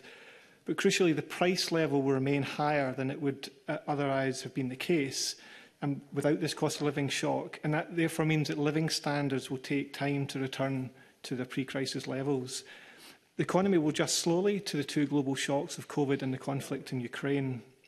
Despite this challenging backdrop, the net contribution of income tax to the Scottish Government's 2023-2024 budget has improved by 582 million since last year's projections. This is due to a number of reasons, partly to last week's Scottish Government's policy changes, but also to other reasons, including the revised data that, that pointed to a relatively better tax position for Scotland in the most recent HMRC figures and projected rising earnings. The positive income tax net position over the next five years marks a change in the funding position of the government relative to what we previously forecast. However, we deliberately took some time in our report to set out the caveats inherent in this assessment and the potential for change. Should either we or the OBR alter our assessment, then projections of the net position will change too. And we're now six years into the operation of the fiscal framework, and we have a much better appreciation that these things can change, and they can change a lot. And the Scottish Government will need to take this into account when setting their medium-term financial strategy next May. As always, our report contains an account of our costings of the tax and social security policy changes made in the budget. We estimate that the changes to income tax will raise an additional £129 million in 23-24. The changes to the additional dwelling supplement, LBTT, will add £34 million and it therefore be 356 million less raised from non-domestic rates. Finally, turning to social security, as we highlighted last December, the gap between our forecast social security spending and the funding received from the UK government is projected to widen. This reflects the extra costs of delivering some payments, such as adult disability payment, which we forecast to run ahead of the BGA, and distinct payments such as the Scottish Child Payment, which have to be funded from within Scottish Government uh,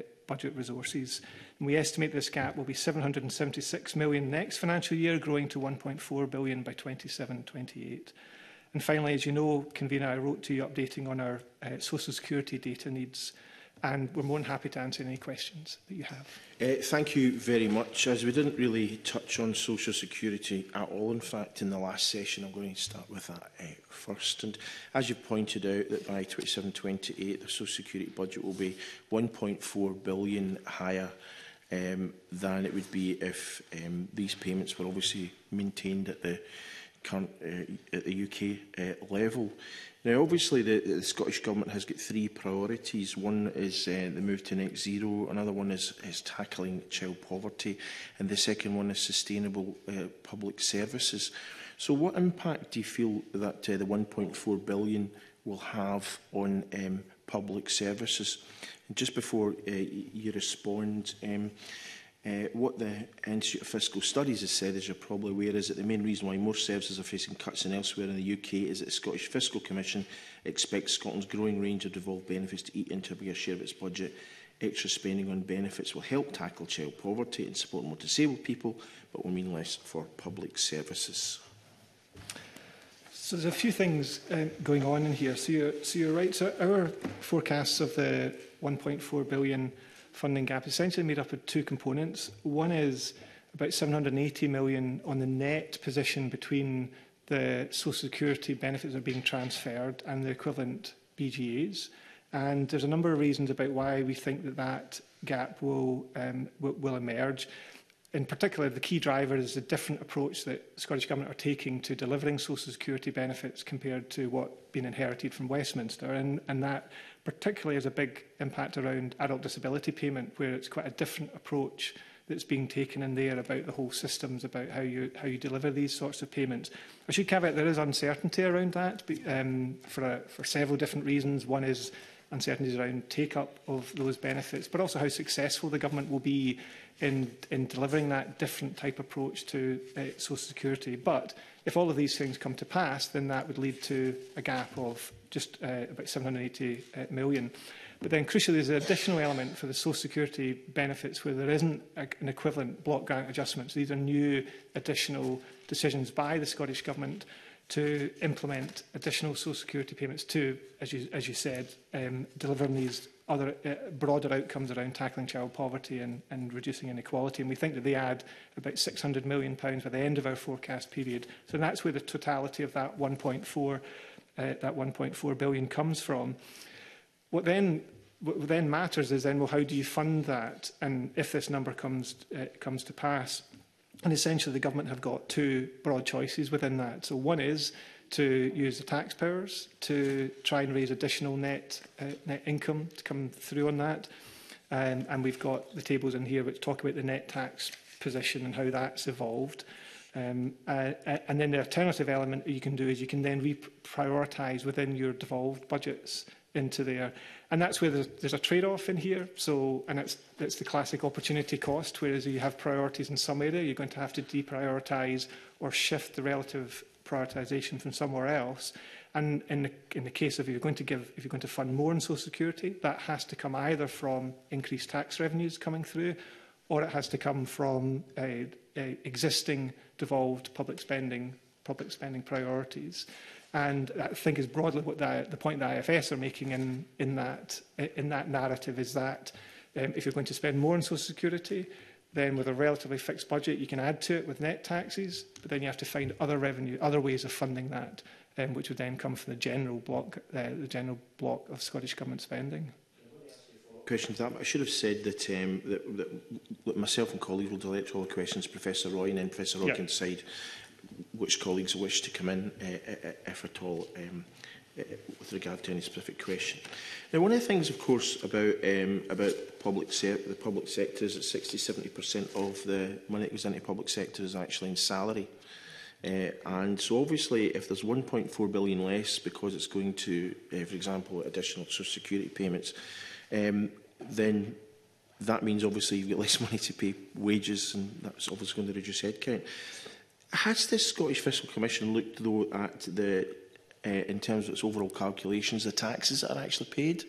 by because obviously the difference I would think between social security payments and wages is that some of the wages will come back to the Scottish government in terms of income tax whereas obviously uh, you know that's much less likely in terms of benefit payments so has that been calculated at all in terms of your so yes when we do our forecasts so for income tax we will have forecast for earnings, of which public sector earnings will be part of that. So changes to that will feed through to our forecasts for uh, for income tax. So if you have, uh, if you expect earnings as we do over the next year, uh, couple of years to increase significantly, then that is the key driver as what's happening there to nominal earnings, and therefore that's the key driver of what's happening to to, to income tax. So on the tax side, it, it's done. On the social security side, you're right; these are quite different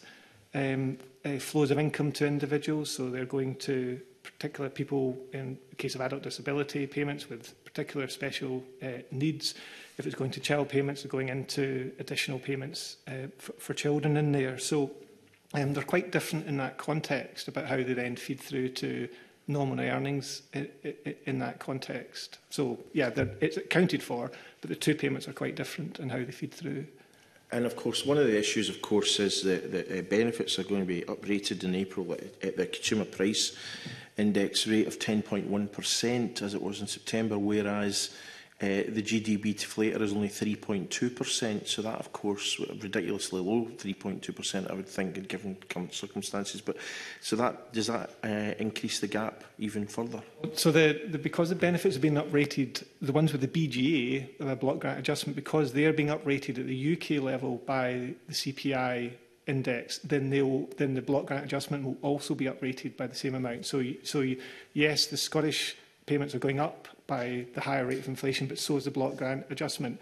There's some marginal differences in there about payments where you've maybe the payments that don't have a block grant adjustment, your uprating of them will go up. Yeah. So yeah, apologies, I should have been clearer about that. Yeah. Yes, appreciate that. Yeah, so anything that doesn't have a block grant adjustment, you're uprating it by inflation, and that yeah, then that then that then has uh, has a net impact on the funding. And there's a bit of a discussion in the report where we we, we talk about the different effects of inflation that don't have an equivalent BGA and, and additional elements into that. If I can just maybe see if Francis or someone wants to come in, but your, your, your broader point there about the difference between CPI and a GDP, GDP deflator I think is really important here, particularly when you're talking about wages.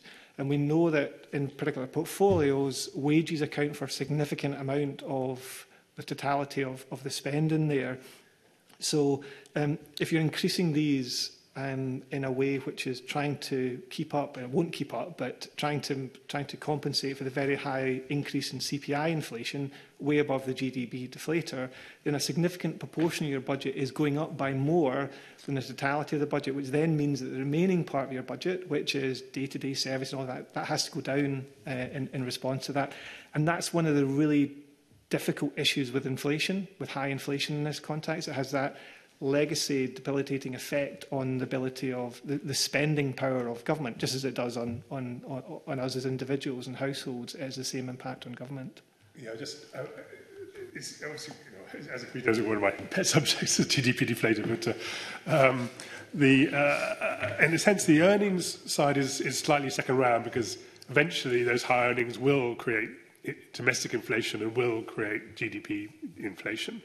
So the, the, the really tricky bit of the GDP deflator is that it doesn't include import costs, and that's particularly, so you know, the lighting and the energy in a public building is excluded, and that, is, that will not, not appear, and that's a, a problem with that measurement for, for using it for that purpose. I mean, I think back in the midst of time, there was a decision making made that public expenditure should be deflated by GDP deflator, but there are times like this when you know everybody scratches their heads and says, why on earth are we using this measure of inflation? Uh, but it is, it is only in these really in these circumstances when import inflation is, is driving everything, that it really shows up what a, what a poor measure it is. Hospitals and schools still have to keep the lights on, etc. etc. Ambulances yep. still need to be fueled. Yeah, yeah absolutely. Uh, so, so I think so. That, so really, the GDP plater kind of underestimates the real costs. I think which is impacting on the Scottish and indeed UK budgets as we go forward. Now, one of the things about um, about uh, the increase in the the high rates of taxation, etc., is obviously the impact on behaviour. And I think when I was convener of uh, equivalent to this committee 10 years ago. I know Professor David Bell was talking about that then and about research. Uh, what, what research has been done on behaviour and where the threshold is whereby you get to a tipping point whereby the increased revenue basically is offset by behavioural change. So, for example, people um, who can, uh, registering in England rather than Scotland for tax income tax purposes, incorporation, or even people uh, classing themselves as self-employed, um, all of which I imagine have an impact at this time in any case. But where, where, are, we, where are we with that? The, the Commission published in, uh, back in March 2018 quite a detailed paper which set out the elasticities, what we call the tax elasticities, which are used to capture these behavioural effects. And it tried to draw, where possible, on international evidence about how people respond to changes in taxation. Um, one thing I should say is that there is, there is quite a high level of uncertainty around these tax elasticities. And in some ways, the elasticity is added to in a devolved context, because usually when you're talking about tax elasticity, you're doing it at, you know, at one kind of fiscal system, whereas here you have that potential additional bit where people could change their tax affairs depending on you know, Scotland and the, and, and the rest of the UK. So there is, an uncertain, there, is an, there is an uncertainty around that. But in that paper, it talks quite a lot about the different types of behavioural responses that people could make to changes in, in taxation. And there's what we call the marginal uh, re response, which is people changing essentially how much they're working at a particular point in time to a change in tax. Or it could be changing, as you say, changing their tax affairs to become incorporated, or it could be uh, relocating where they're domiciled and things. Um, and that's probably the one that is most important when you're looking at the really at the top end of the of the income distribution, because it's people at that end who tend to have the greatest flexibility to adjust their tax uh, affairs. This is not it's not evasion. It's not you know, doing something illegal. It's just about they've got greater flexibility to take some of their income as, in, as being incorporated or to adjust their hours as, as a result of that. And it, it, the evidence tends to be that these tax elasticities can be quite high, at least relative to other parts of the income distribution, when you get at that top end. And that's why, in our estimates on things like the additional changes to the, the changes to additional rate, we don't expect to have raised that much revenue in that context comparison to the changes in the in the in the freezing of the immediate and and basically it's because people don't have the same ability first of all there's more of them and secondly they don't have that that same ability to change their tax affairs because most people are salaried most people are subject to the PAYE system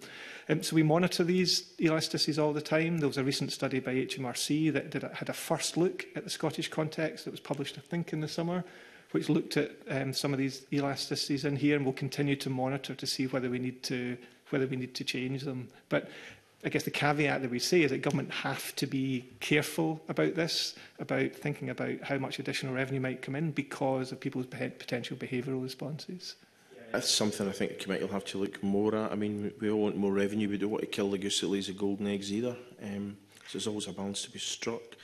I mean, one of the other things, of course, in terms of tax, I mean, you've obviously um, given us some very healthy projected income tax next net positions through fiscal drag, i.e. the reduction in disposable income for people uh, as much as anything else. So what is going to be the difference in GDP in Scotland taking tax now as comp uh, compared to 27, 28? Where do you see the, that shifting, the, the increased uh, tax burden, as you would call it. John wouldn't call it that, but that's generally what it's called.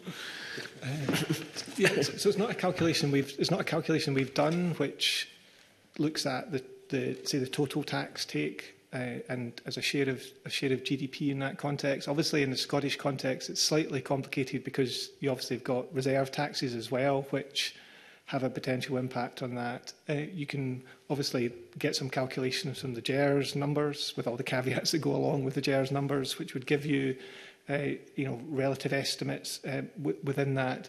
Uh, but we don't, we've not, I don't think we've ever produced a, this is the this a definitive devolved tax burden, caveated with that phrase, as a share of GDP. Um, I'm not entirely sure how useful that would be because... I mean, basically, the Scottish Government is more or less, you know, apart from higher rates, mi uh, mirroring the UK in terms of thresholds. So what's it going to be at UK level then, um, you know, by 27, 28? Uh, I, I would, don't know that number. It's something we can get uh, for you. The, we know it's going up. So across the UK, the relative share of tax as a share of, the, of GDP is increasing in the UK for a whole variety of different reasons, and, and it's probably likely to increase in the in the future more generally as you move to higher costs of delivering the same level of public services in, in, in time. The relative position in Scotland, again, it's something, as I said, that the devolved context is slightly complicated because you then you've got all these other elements of taxation which are not included into that. Um, so be careful about coming up with a devolved uh, tax proportion of GDP um, because there wouldn't be an equivalent comparator in that context in, in, in the UK. But it's something we can we can have a think about and look at for potential future reports. Okay, thank you. And you've said in, in your report uh, that, uh, and I quote, high inflation means that over this year and next, Scottish households are expected to see the biggest fall in their real disposable income since record began, began 1998. Even once inflation returns to lower levels and real household income start to grow again in 24-25, living standards will take time to recover to the pre-crisis 21-22 level. A forecast suggests that by 25-26, real disposable income per person will be no higher than its level a decade earlier, grim news indeed. But I'm just wondering how that impacts across the different income distributions across the quintiles. So um, have you done any work to see who would be most, who's going to be most adversely affected uh, by that and where the balance lies? So, so we haven't, largely because we focus on the overall macro picture, which is the key task that we have to do to get the overall projection for the economy and how that then feeds through to taxes, etc. However, we do talk about in the report that the evidence that shows that people in different parts of the income distribution face different rates of inflation and that that largely comes from what people what the basket of goods that people consume and we know that people in lower levels of of income tend to, prepare, tend to spend a higher proportion of their income on things like energy and food costs. And as Francis was saying, these are the things that we, we typically import, therefore they're having it. So people at the lower end of the lower end of the income distribution are facing a higher rate of inflation than people at the upper end of the income distribution, and therefore they faced a greater drop in their in their living standards. They also have also people on lower incomes have left dis, what are called discretionary spend, so um, less ability to cope with the additionality that might be coming through um, additional you know pressures on on energy costs or on food costs. You you less you know less savings, less flexibility, less discretionary spend that you can adjust to cope with that, and that all means that that hit is going to be more disproportionate in the lower end of the income distribution. Thank you. That, that, that, that's um, interesting and indeed is what one would anticipate. I mean, that, you know, what you, you've said is that the underlying structure of the Scottish economy is undergoing profound shifts, and you talk about the, the impact of the pandemic and more people working from home while some people are suffering from prolonged health effects. I'm just wondering if you've looked at that I mean, we, I know that we've, we've taken evidence from various other uh, panels in recent weeks, which across the UK around 600,000 people have left the workforce and about 60,000 being in the corollary in Scotland. I mean, is this something that you have looked at as being a long-term consideration? Is this something you think might be a one or two-year blip in terms of your projections, in terms of future economic uh, growth, etc.?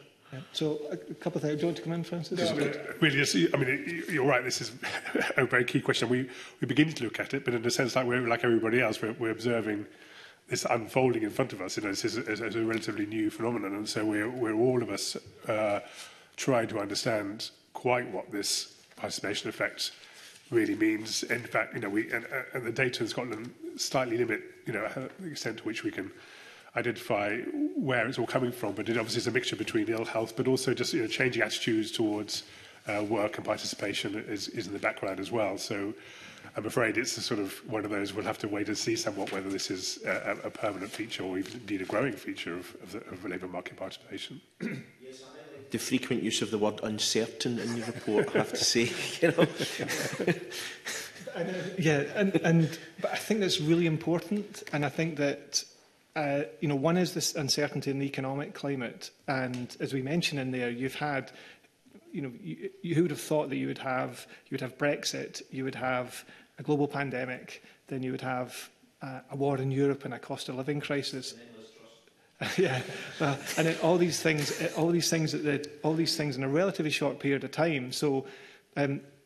the, the, we, we are in a, in a period of, of particular uncertainty. But there's also a really important point, I think, around the understanding the uncertainty that is in the fiscal framework and how we manage that and how movements in our forecasts and OBR's forecasts feed through to quite significant changes in, in the budget.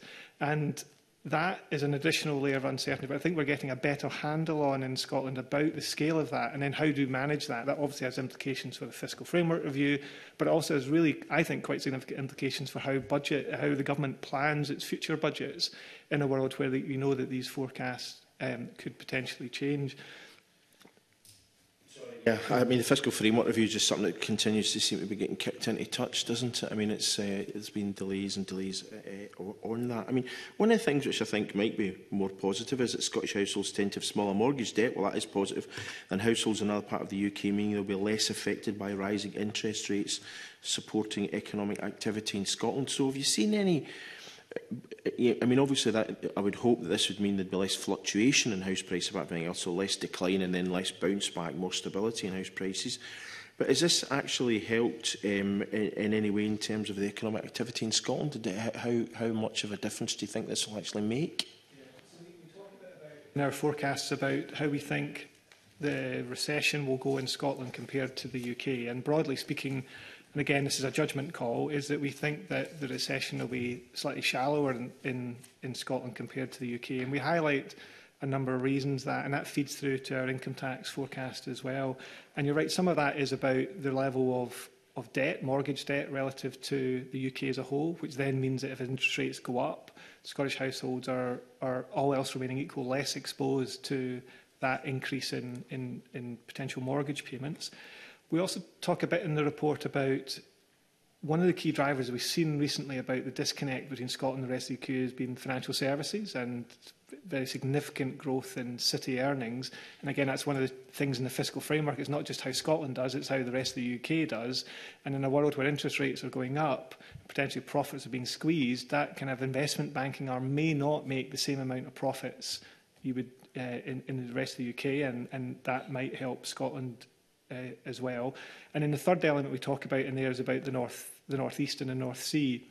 And in recent reports, the Commission has spoken about how potentially Scotland's earnings would lag behind because of the challenges in, in the North East and the North Sea and in terms of squeezing earnings growth. But we've seen with the energy price spike that actually earnings, at least the engagement we've had with stakeholders, suggesting that potential earnings in the North East doing slightly better and greater demand in there, which again we think might help Scottish uh, uh, Scottish incomes in, in, in that context. But broadly speaking, we see Scotland being pretty similar to the UK over the next couple of years in that challenging environment. On your, sorry, on your specific point about house prices, I mean, uh, historically, I mean, it's sort of almost mechanical because the average house price in Scotland is slightly lower. The amount of money an individual gains or loses uh, in, in, a, in, in when house prices move around is actually less. So, so the house price effect is, is less in Scotland just mechanically because the average house price is lower. So, so that, that that's an important factor. Come uh, uh, uh, uh in London, yep. for example, yep. when uh, mortgages and it would be here, so interest rates are, can, uh, are much more uh, damaging when they go up. Uh, now, in terms of capital funding, uh, you've talked about the 23-24 budget reflecting a real terms cut of 185 million. million um, at the GDP deflator rate. Um, but what you've also said is that UK government announced a freeze in capital budgets and cash terms from 26-27 onwards. What impact would that, will this have, do you think, on growth and productivity as we move forward? I think the we, we know that capital we know that capital budgets are really important in the long run for for economic growth uh, and and and productivity and how they feed and how they feed through. Um, so we're talking, I think figure 2.11 talks about that trend in the in the capital budget and the UK government's announcements largely flat in, in cash terms. This is one of the areas where the, deflate, the deflator really matters. I don't know if anyone's tried to do home improvements recently, etc., and you, you see the huge uh, increase in costs that are there, and that is really important in, in this context. So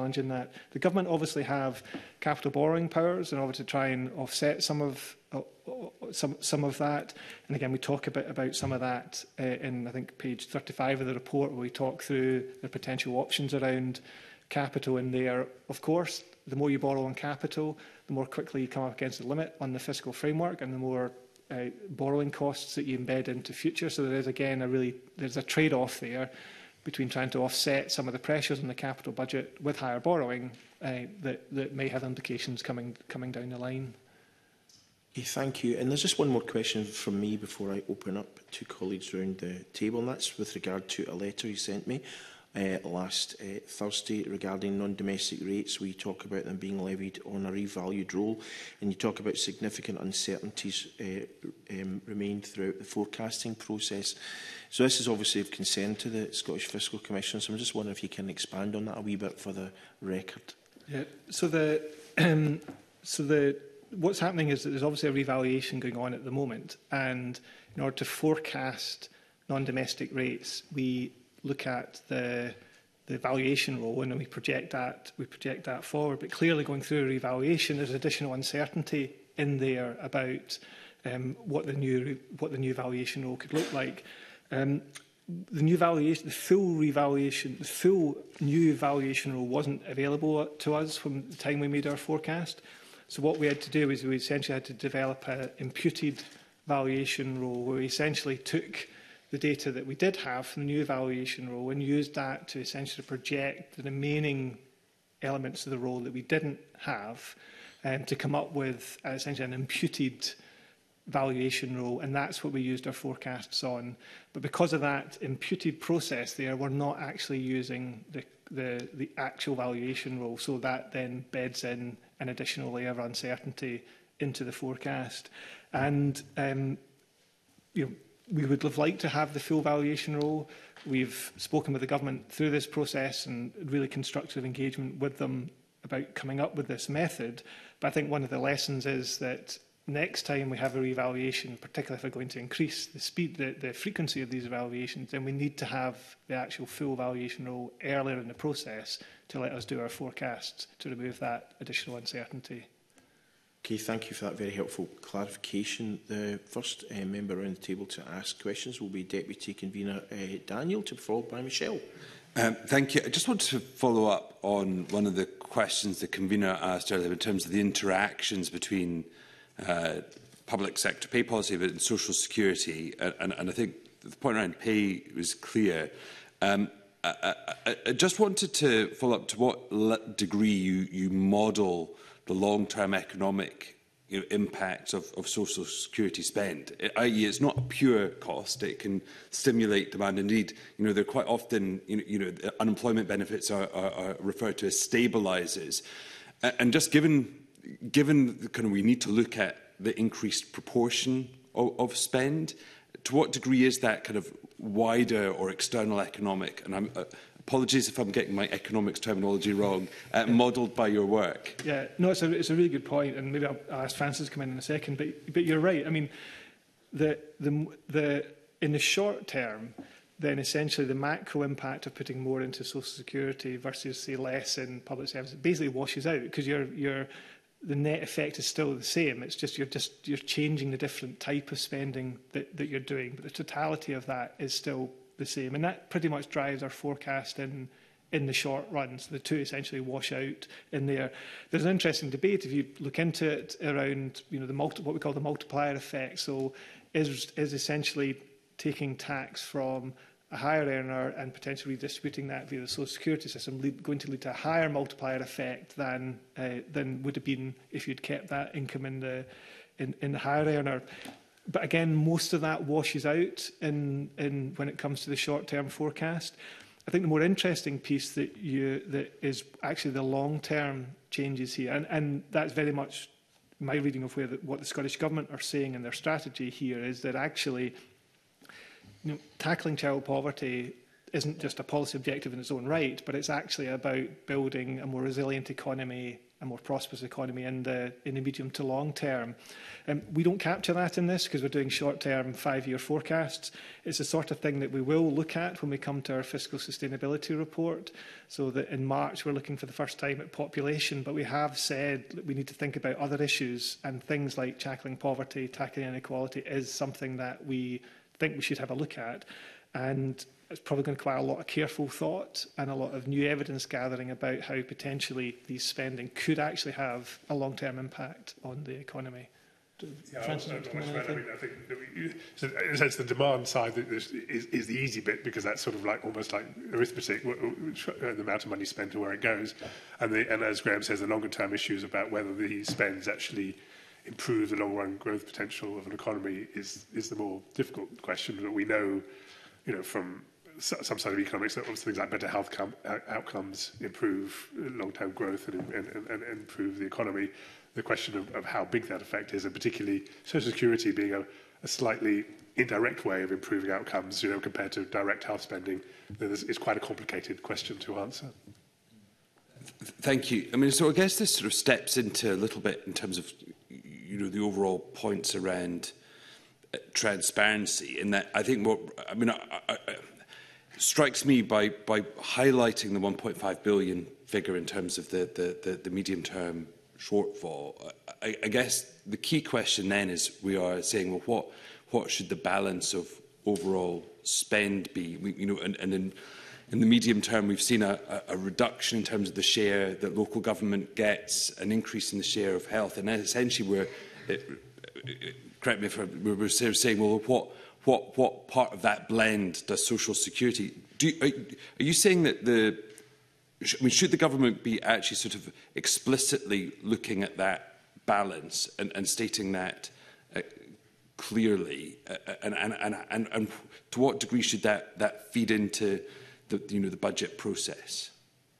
I think So I think there's a, there's a, there's a slight thing about how far we stray out our remit, which sure. is about you know the forecasting of the totality, and then how government then allocate priorities within portfolios is really up to to the government, and then the scrutiny of of those allocations.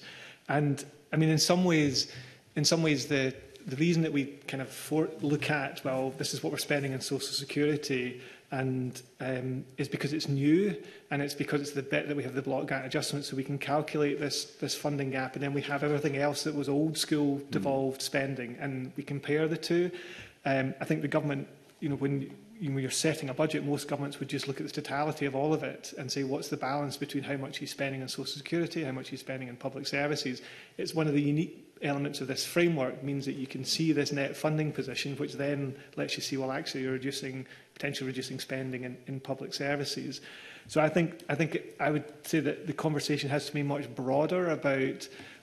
the totality of the spend, both in social security and public services, and is that meeting the outcomes that the government want to try and achieve in the long run through net zero child poverty and, and growing the economy?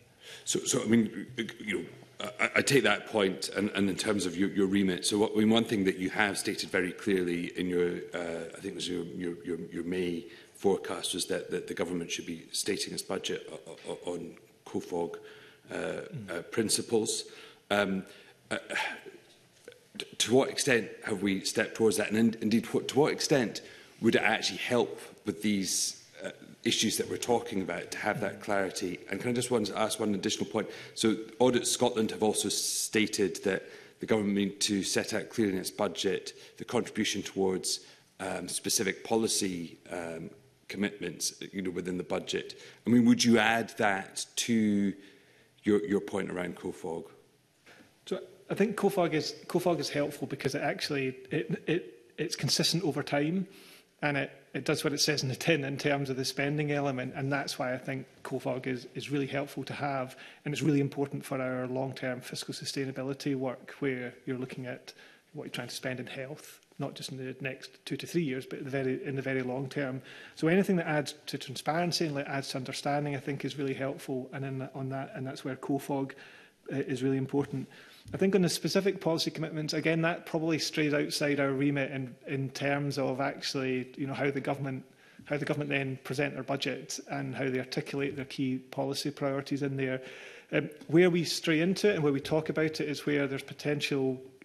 policy commitments that we think are feeding through to sustainability, and that's like on social security. We also get a comment in there about Scotland allocations because they've articulated about this is how they will use that Uh, to allay some funding pressures. So again, we kind of highlight those sorts of things, but we tend not to too much go into the specifics of this policy is directed for for this particular uh, this particular priority.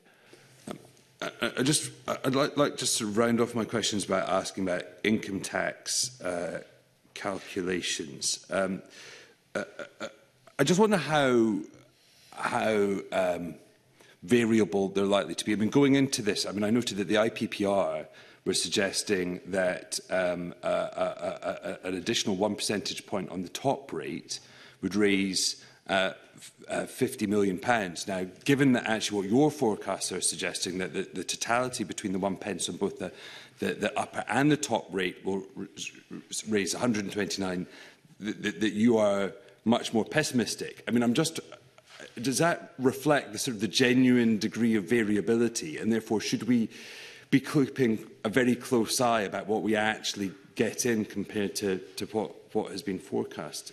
Or, or, is, it or, or is there sort of a, a bigger difference of opinion between how you're calculating it and IPPR are? So, so a couple of things. So one is, yes, the uncertainty bit, the potential move around is important. I, I don't know the specifics of the IPPR calculation, but if you look at what we say, so if you look at the additional rate, so a penny additional rate, the static costing we think raises would raise about 30 billion pounds next year, but that's without behavioural change. When you add in the behavioural change, we think that the totality of that is only 3 million. So the key is what you're doing about the behavioural change and how big you you think that elasticity will be. So how how much you think people will respond and adjust their tax affairs in order to then that feed through to uh, through to to the the final element that you get. So that potentially might explain some of the elements about where people are maybe talking about the static effect versus the once you accrued for the behavioral effects.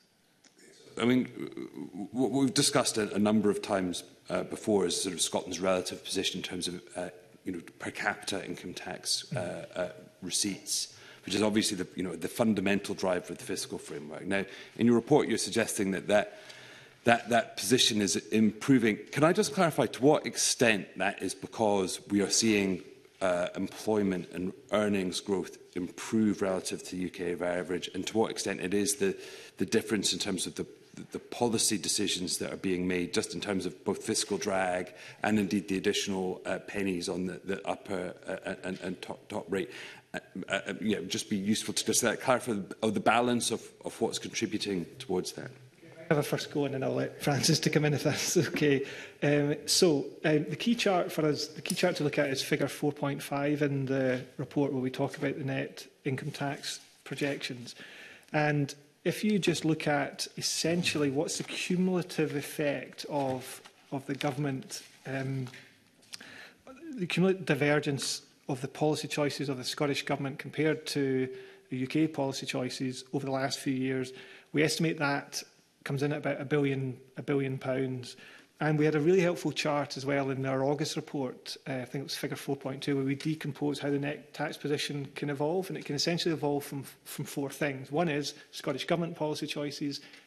UK government policy choices, and then the performance of earnings and the performance of the economy. So that 1 billion is essentially the policy divergence that we think is essentially coming through in 23, 24. Um, and that's essentially Scottish taxpayers paying more tax in Scotland relative to the rest of the UK. What then becomes the crucial other bit is what's happening to the economy and what's happening to your earnings and your uh, your employment. And that's where you get the net tax position that we're thinking next year uh, is uh, around 325 million. Um, and that essentially gap is the difference between the, the, the tax that you're trying to raise and the, the, net, the ultimate final net tax position, which is coming through the relative performance of the economy since we've had tax devolution. And it's the combination of these elements that's absolutely crucial. So why do we now, why do we now think it's more positive than, it, than it's been Part of that is the income tax increases by the government, which we think will raise about 129 million. Part of that, if you recall, we got new data from HMRC in the summer, which showed that Scotland's relative position was actually improved because the outturn for the UK was weaker than what the OBR had thought it was, and that lifted up the net tax position. Um, and then the, the, the remainder, largely the remainder of that comes through a difference between our forecast for the economy and the OBR's forecast for the economy. Some of that comes through what we think might happen in earnings and the catch-up. We explained, talked about the North Sea and things, and the divergence not being as significant. Um, but it also comes largely from that we have a slightly more optimistic forecast for the Scottish economy compared to the OBR. If either of us change that, then the net tax position will change. So if the OBR become more optimistic, then the net tax position will narrow if we become more pessimistic, then the net tax position will narrow as well. And that's the uncertainty that's embedded into the framework. So, I mean, there's, in a sense, there are even more elements going on in the background because, they, you know, as we've already talked about, there's this mortgage debt issue going on, which is, sort of the other thing is we've slightly adjusted our participation uh, assumptions for the over 60s in a sense of what we've done is we've raised participation as the state pension age ri rises, we tend to observe that people participate more as the pension age rises, um, and so we've added that into our forecast. So there, there's a whole I'm, I'm just saying there's a very large number of things that have contributed to this change. So it's not so I wouldn't put, put it down to those uh, one or two elements. Uh, Michelle, to be followed by Ross. Uh, good morning, everybody. Thanks for, for coming along. I, I, I just wanted to return to kind of modelling behaviours and elasticity. We've talked about it with income tax, but I just wanted to get your sense of how that has been factored in in terms of ADS, which I think you said in your your uh, opening remarks, increasing from 4 to 6% and estimated to give 34 million pounds extra. Now, obviously, this is if, arguably even more complex because of the reasons you set out before, and of course, it's a and your tax as well. So I just wondered, I wanted to get your sense of the extent, you know, the, I suppose the level of confidence that you would have in that 34 million given a range of factors which also feel free to outline. I've merely given my view. Thank you. Yeah. So it's a really good it's a really good question and we we we we obviously have a policy costing um, which we draw on past experience of what happened with the additional dwelling supplement when it was when it was added in, and that's factored. And we we we we've got some evidence about how much was raised, and we can then use that uh, to help inform our policy costing um, uh, policy costing going forward. The one one wrinkle, of course, with the additional dwelling supplement is that you if you increase the rate, you might have fewer people buying an additional dwelling, but that opens up the rest of the housing market to buy properties in there. So it, it's slightly different in income tax where someone might change their behaviour and that's it, they're the only person involved. If someone changes their behaviour not to buy a second home, that potentially opens up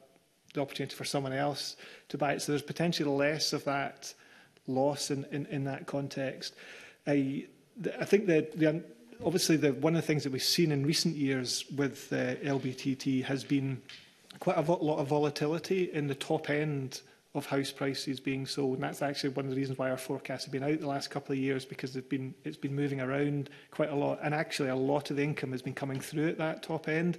So one of the really interesting things I think to keep an eye on will be is, firstly, what happens when prices, if prices do fall, is it the top end of the market that becomes softer and what implications that might have?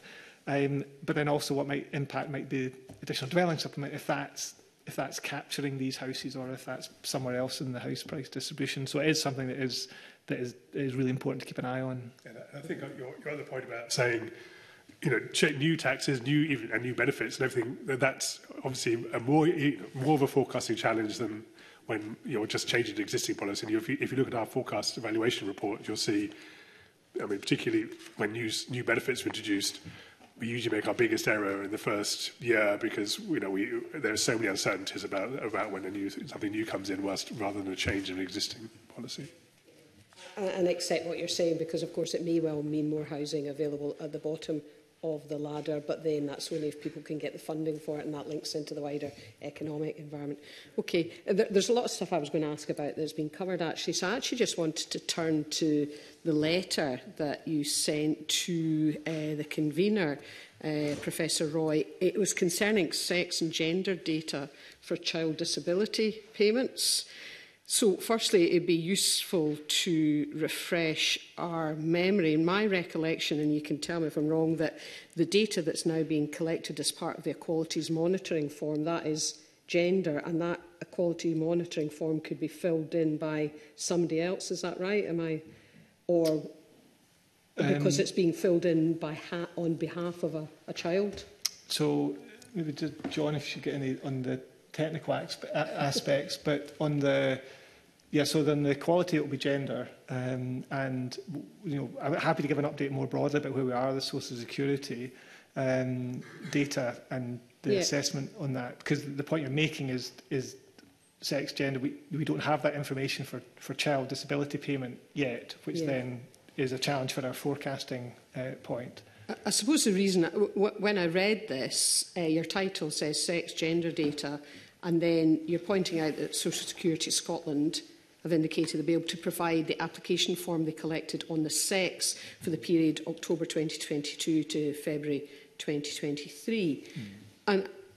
I'm, I'm just trying to understand in data terms, because I'm aware that we don't want to go into other big debates, and that's not my intention here. I'm trying to understand in data terms about accuracy. Hmm. And the reason I'm asking that is that we know that boys are – statistically more likely to have learning disabilities, particularly like neurodivergency and so on. So getting the data collection correct that links to biological sex must hmm. surely be vital. And having read your letter, it's using you're using the term sex and gender interchangeably. You then reference Social Security Scotland because it seems to me setting aside any other debate, the data being collected that would ultimately be used to project cost where we know that social security payments could well go up given a whole range of factors. So it'd be useful just to set out what exactly you think is happening and what you see happening going forward in terms of your data needs So it's yeah. a data question. yeah, so a general point, and maybe we could get John to come in on the specifics of that. So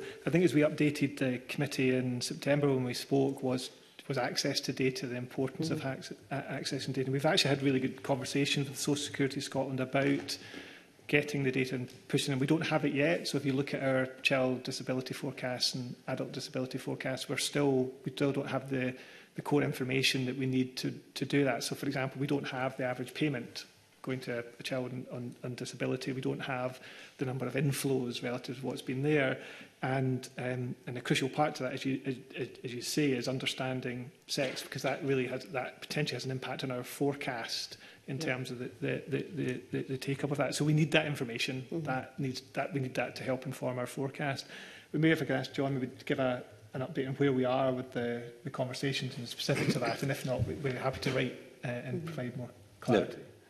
Um, I think to some extent the, the, the questions asked in both the application form and the qualities monitoring form are an issue for Social Security Scotland.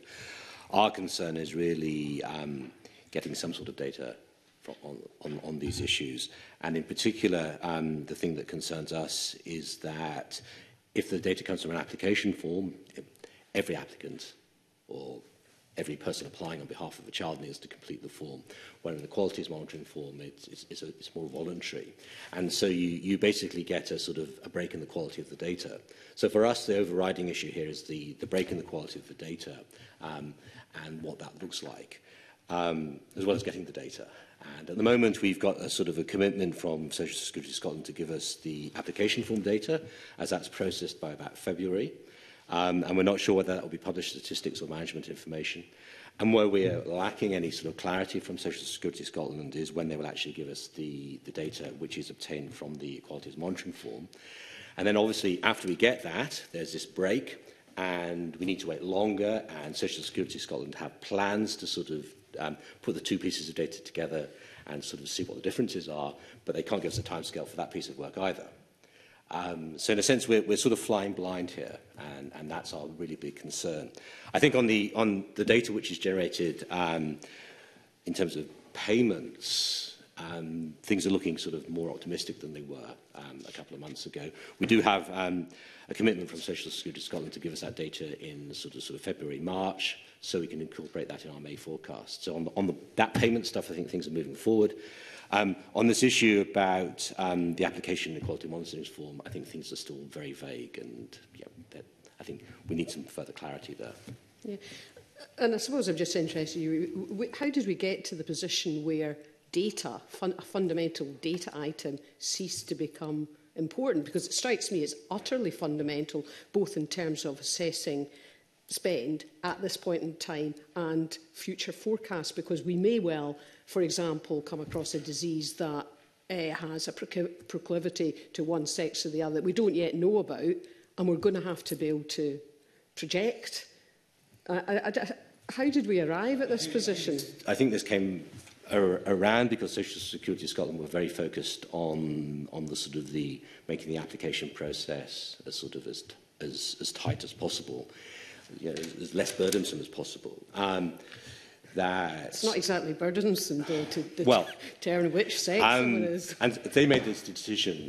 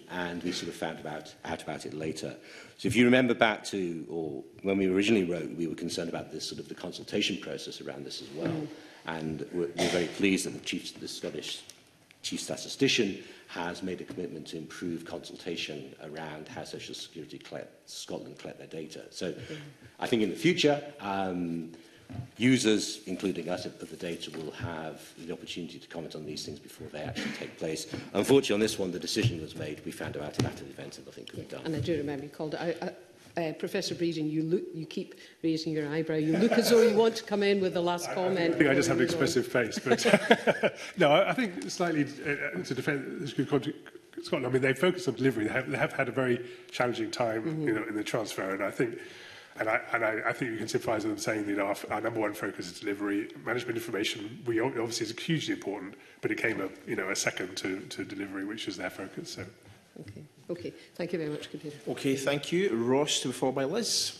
Thanks, Convener. Returning to um, the additional dwelling supplement, if you were to assume no behaviour change from the rise to 4 to 6%, what would the additional revenue have been from that? Um, 55? Yeah. So it's a, a roughly £20 million pound yeah. projected loss from, from behaviour yeah. change in that case. And given um, that that change takes place immediately to avoid a very obvious bit of, um, of, of avoidance that, that, would otherwise take place. Do you have a projection for what the additional income is now going to be in quarter four of this financial year? Uh, yes. Um, it will be on... Let me just find the... So the table 4.21 talks about the, the, the policy costing from the change in residential BTD, including EDS, and there's 12 million in 22, 2023. Fantastic. Given that we've uh, not quite figured out how to fill the gap in uh, the remaining quarter of this year, I think every every little helps in that regard. Um, on the the question of behaviour change, do you have an estimation for what the tipping point would be where ADS would become net negative in, in revenue terms? Because it's an interesting tax in that it has two objectives. One is to raise revenue for public services, but the second is it can result in what many of us would see as desirable policy change around freeing up more housing for, for owners rather than second homes, holiday homes, etc. What is the tipping point, though, where it becomes such a strong disincentive that we actually have a, a net loss of revenue? I'm not entirely sure I follow the question. I don't think we've, we wouldn't calculate um, a tipping point in that regard because the, if you think that the stock of housing is relatively fixed, essentially, you know, you, you might not be buying second homes, so you're not getting that, but you're potentially opening it up in terms of other potential people that are, are buying these homes. So, you know, to get a tipping point where it was not raising any revenue, is kind of a is a difficult... is a uh, wrong grip. I was thinking more in terms of... Um, so you're assuming that um, this additional change um, will result in... Uh, uh, this change to the rate will result in behaviour change of around 20 million, but at what point would it have resulted in um, a change uh, that is equivalent to the amount it would otherwise raise if there was no behaviour change, i.e. at what point have we raised it by so much that uh, the amount of money coming in is no more than it was in the previous year at a lower rate? Because presumably if we raise it to 20%, we're going to take in a lot less money than we did from ADS specifically last year. I take your point that we'd probably bring in more from LBTT, but the amount bringing in from ADS would be a lot less.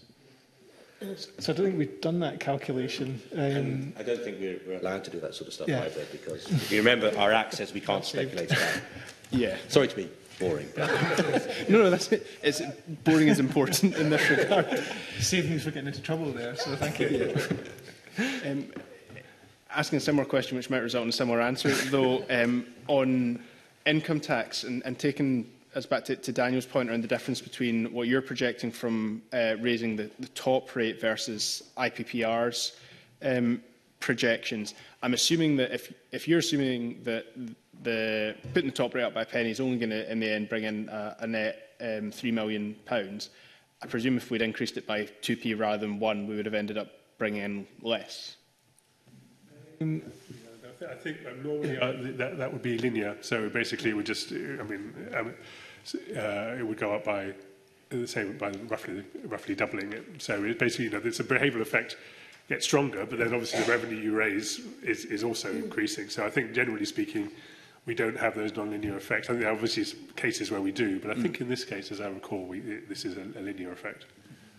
Uh, and just one final question, and this is just about jogging my memory.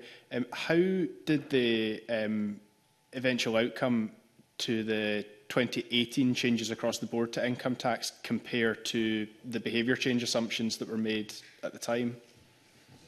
Uh, so it's, it's very difficult to do that. So um, what was the year the HMRC did the study for?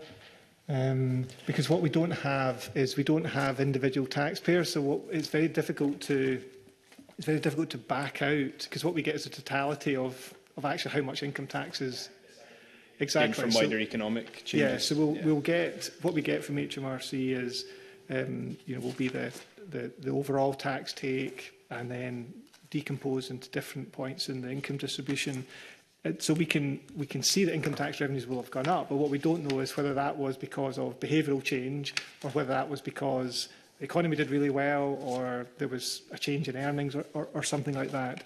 I mean, in time, as we get more data, HMRC are collecting data which in time could let us do some longitudinal analysis where we can perhaps identify taxpayers that have similar characteristics to taxpayers across the rest of the UK, and you can start to do some modelling to see whether or not, all else remaining equal, taxes have changed in Scotland, have people changed their behaviour in that context. But that's still, again, we're still at very early stages in this process for framework. And again, people might change their behaviour instantaneously, but it might, change, might take them a couple of years to change their behaviour. And that's why there's, there's always going to be a lot of uncertainty around the, the, the, the modelling of this. And That's why, again, we would we just think when government are setting out these policies and think about how much they'll raise, they can either be really optimistic and take the static costs, or they can be cautious and think about, well, these are the behavioural changes, and that's what we uh, factor in. And yeah, I mean, I think, as we've already done, and I think we will continue to do for a long time, is we're going to lean quite heavily on international comparison. So basically, you know, even with a long time series of Scotland, it's really it's, it's just one border, and we, you know the data is going to be just that was. If you look at countries like you know, the, the, the, the millionaires tax in America, the uh, regional taxes in Spain. You've got lots of borders that people are crossing. You get a much better, richer data set to, to, to see what's going on with, with behavioral effects of, of regional tax changes. So we, I think we're going to be heavily relying on that, on that evidence for quite a while. Thanks, Raj. That's all from me, Commissioner. Uh, thank you. Just to follow up, actually, before I let Liz in, and I, I was just I struck by with something you said, actually, there, Professor Breeden, because you said that, um, you know, if the, you, you assume that the penny uh, increase at the top rate would um, increase taxes by 30 million, but because of behavioural changes, that would only be 3 million. But if you put it up to two pence, it would be 6 million. You just double it. But surely you, you get to a point where behavioural change exceeds the actual income level. And if And if the volatility is such that one penny will take 90% off the revenue, then surely two, per, two pennies in a pound I mean, I'm quite astonished at that high level of elasticity. But, I mean, you know, surely two pence would, would, would tip it over the edge and you could end up with negative revenue. I think it depends. So obviously if there's like a, you know, if, it, if, if the cost of, of, of getting, getting out of the tax is like a thousand pounds, then clearly, you know, nobody's going to react initially and then they'll react when it's a thousand. This, that isn't this type of relationship. In a sense, what we, again, from the international evidence, what we found is the most common uh, on, on migration, obviously there are other ways that people can uh, adjust, uh, but on migration, it's mainly paper migration, i.e. that somebody's already got a second home south of the border and they just re-register.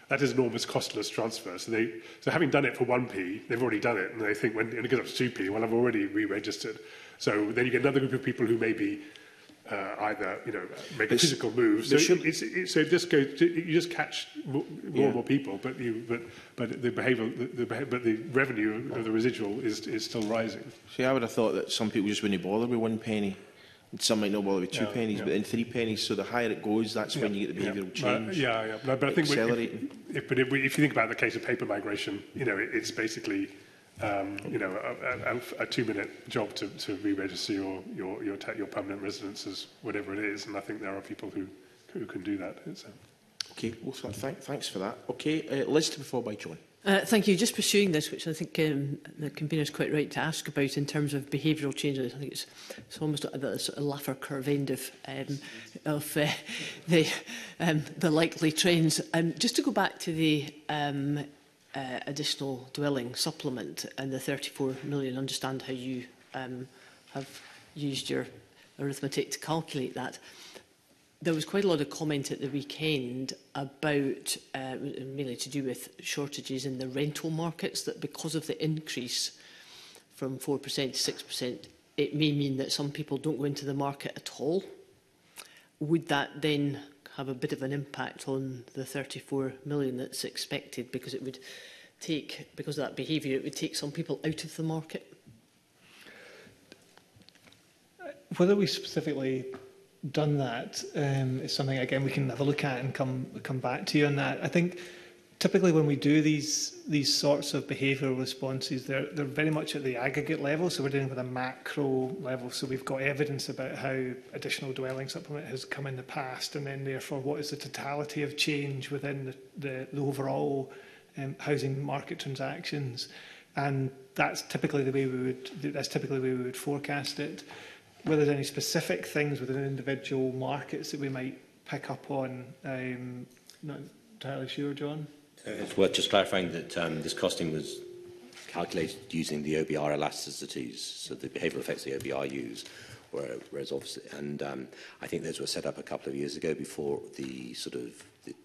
the sort of changes about rent control and things took place. I think I don't think we formally include those. Yeah absolutely understand the um, arithmetic to which you're referring. It's just obviously the knock-on effect, possibly, is that some people are deterred from going into the market and therefore the estimated 34 million that is the tax revenue coming in uh, perhaps doesn't uh, have quite such um, you know, certainty over a period of time because that might put people off um, coming in to the market.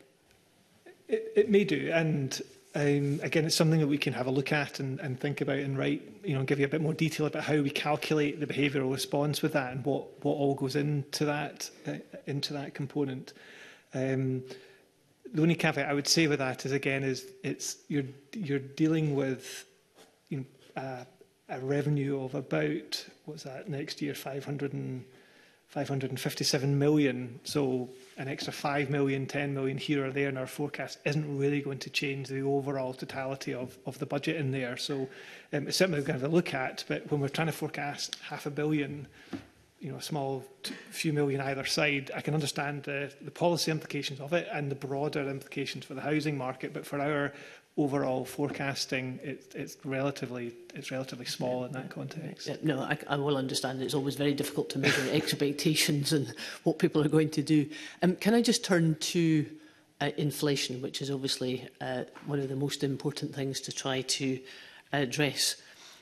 And um, Professor Breeden, you quite rightly said that a, a very high amount of that inflation is due to the cost factors, and particularly for people on uh, lower income. Can I just relate that to Professor uh, Roy's point in the introduction, where you said that the expectation is that um, the inflation next year will fall, and I think you used the word sharply.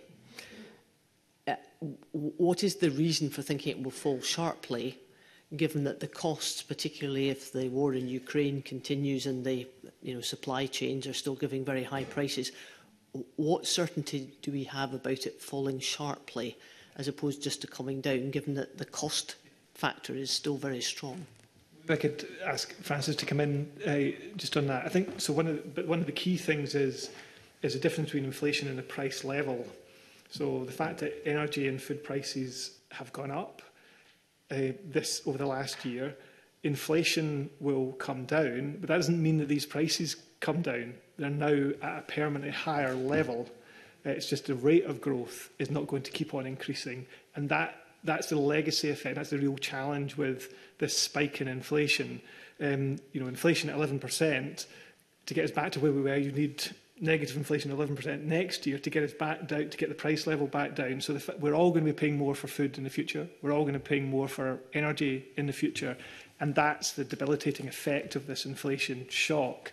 Um, and that's the distinction between inflation and price level. But don't, on yeah, why well, we think inflation will come down. Exactly. I mean, that, that's the key point. Is obviously the, the price level is is higher, and therefore that's so it's not as if we, you know the, the inflation falling back down means it's all over. It's it's, it's now bedded in. Although it's worth also pointing out that you know that it is true that actually energy prices have come down from their peak, and so they are somewhat uh, uh, creating a negative effect again. They're still higher than they were before the, the crisis, but they, they, they're lower than they were in August, September. So, so that's, that, that is now uh, going to be uh, potentially, given that if they stay low, which they may have already gone up whilst I'm speaking, uh, you know, they, the, uh, the, that will be a, a slightly negative impact on inflation for the coming year which, uh, you know, I understand that it's, it's the rate of increase that matters. Uh, I, I understand that. It's just that obviously international events at the moment are incredibly uncertain and, you know, there's always the possibility of exogenous shocks, etc. Hopefully we, we, we, we don't uh, have that. Um, can I just uh, finally come back to the issue that was asking our previous panel about productivity, because that's absolutely critical to any uh, future success in the economy it, it strikes me that, and I think this would be backed up by a lot of uh, e economist groups, that Scotland is in desperate need of more higher paid jobs, and particularly those which could see people transitioning from current fairly high paid jobs in energy sector, for example, uh, to other higher paid jobs. In your analysis, do you predict that we're on the right path to get more higher paid jobs and therefore to address the productivity issue. So a, couple of things I would say on that. So we, do, we don't we don't comment on policy and whether that is, is, is feeding through or not. But you're, you're entirely right that the the way the fiscal framework works and the way income tax works means that the disproportionate amount of income come of tax revenue come from higher earners. Uh, And therefore, if you want to have more income tax, then it's not just about growing the total number of people, but it's a growing high earning jobs because that's where you take the higher taxes uh, from. So, um, and that comes down to highly, a high productive economy that's creating uh, lots of these jobs. And there are a couple of interesting things we have in the report. So figure 3.6 and then figure 3.12 decompose our projections for the economy And you see that essentially because we have the demographics, which we've spoken about before and we'll speak more about in March, about the challenges that Scotland faces in terms of its population and in terms of its its ageing population, productivity is key. It's the one thing that is there just that is driving the growth in the economy. And that's come down over the in the, in most global economies, but in particular in the UK and Scotland since the financial crisis. And the evidence shows that one of the reasons why Scotland has caught up with the UK in productivity and does quite well and, and you know, relative to the UK in productivity is we're overweight in two highly productive sectors. That's financial services and energy. And so this, the success of having these sectors in the economy is, that, is really important again for feeding through to productivity and then feeding through to, feeding through to earnings. And, you know, and we know that oil and gas is going to go through a transition. So you're entirely right. How do you get those highly valued jobs into other highly valued sectors is crucial for what that means for income tax revenues uh, going forward. And interesting, we did we, we consulted quite a bit with different people across during these forecasts, and that's where we think that we've got some evidence to suggest that earnings are actually holding up a bit better in the northeast because of the, the changes in energy. But some really interesting reflections from people about the future composition of energy jobs going forward relative to oil and gas, and will they be as highly paid as the high-paying high oil and gas jobs we've we, we've had in the past? And there's there's an open debate about that, and may not be as as highly as highly paid for a whole variety of different reasons. Not least, a lot of them are in really oil and gas jobs are really difficult um, circumstances, so therefore it requires a, a wage premium. So what, is a really interesting thing, and we've spoken about this in our uh, fiscal sustainability work about if we're overweight in a sector that we know is going to ease off in the next 10 to 15 years, how do you make sure that we can maintain that productivity performance by growing newly highly productive jobs um, to, to create the tax revenues?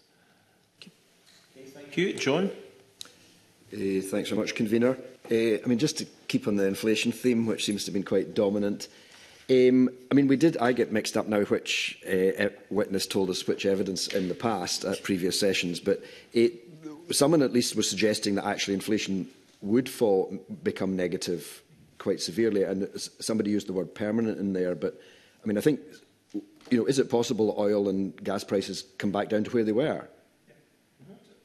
Yeah, yes. And so if you look at figure one in our chart, we show the forecast of the fall inflation. We think it tipped slightly negatively uh, there at the, you know, in 2020, 2025. Uh, so you're right, prices will, prices, inflation will come down. I think we're all yes. pretty confident about that, and the Bank of England will make sure it comes down because that's their job. But it's the, it's the point about the difference between inflation and the price level. And, and I guess our assessment is that the price level will, would be higher as a result of of the different shocks that we've seen. Now, some of that is the energy shock. Some of that is the supply, ongoing supply chain challenges, um, in particular the effects in, in China. And again, that's, that's a global trend. You know, part, one of the reasons why global inflation has been low is because China has been producing very large volumes of manufacturing products at very low cost that's not likely to continue over the next 10 to 15 years to the same extent. So that effect eh, of on the price level inflation will will um, will be there. So um, yes, inflation will come down, but the price level will be high, and that's why when we talk about the cost of living crisis, that's why it won't go away overnight. So if inflation comes back down again, suddenly we're all not going to be back to where we were in living standards because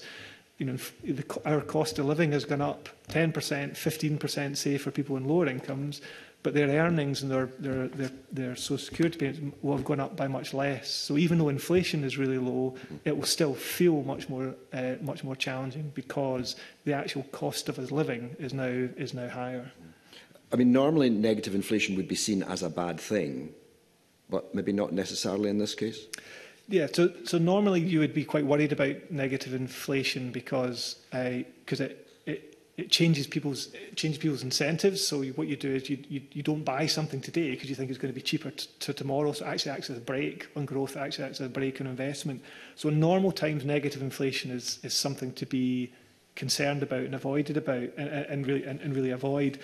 There's a question about in the short run just the volatility in it and actually you've had a huge spike and because energy prices come back down it might tip negative what the bank will be really concerned about or really watch is to make sure that, that any negativity inflation doesn't feed through to expectations. It's purely just volatility. And yes, it's negative, but in a few months' time, it will come back to being, it will come back towards trend. Yeah, but I think it's, it's worth highlighting the point about the, you know, the energy prices, not only have they risen, they've just become very volatile.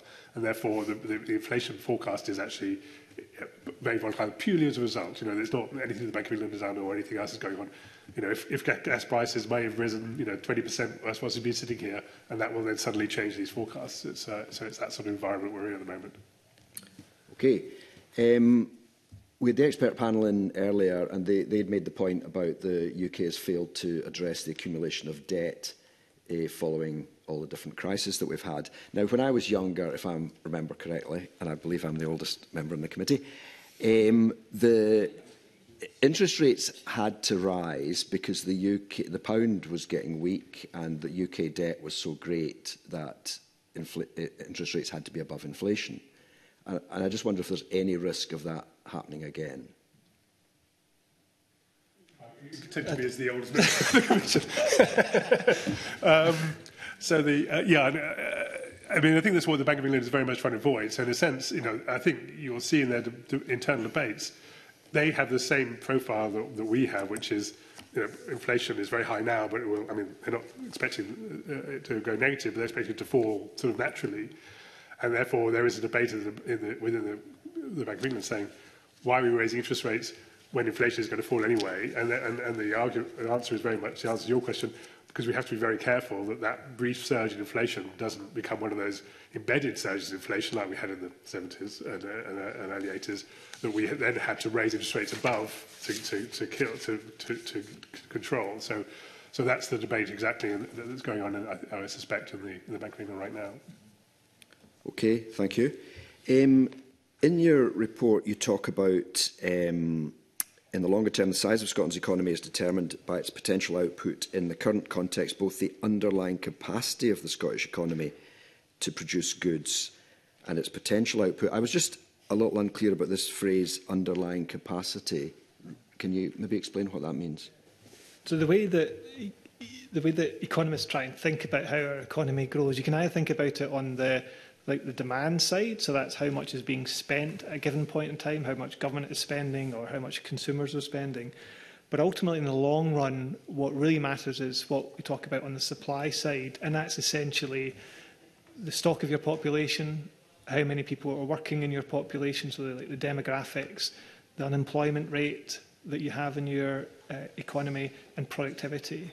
And these, it's these fundamental drivers that determine the long-term potential of the Scottish economy, not day-to-day -day spending, but ultimately things like productivity, how many people do we have in our economy, how, ma how many hours are they working, what's the participation rate, and that's what we mean about the underlying capacity of the, of the Scottish economy. And that, in the long run, is the key thing that drives economic growth. And presumably doesn't normally change very much from year to year. Yeah, so it, it's, basically, it's basically driven by what we call fundamentals. So your population, participation rates,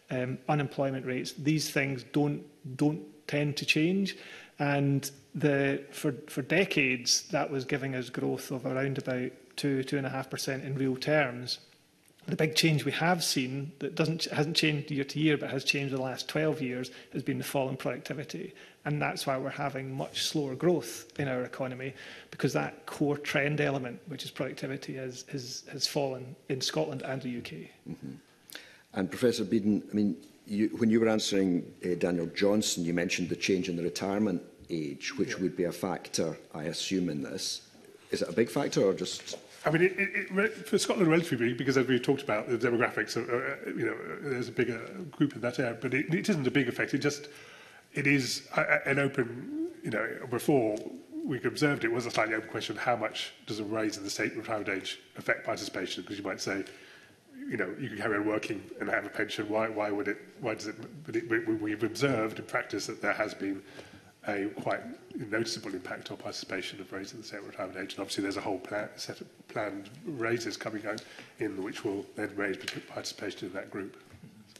Right. Okay.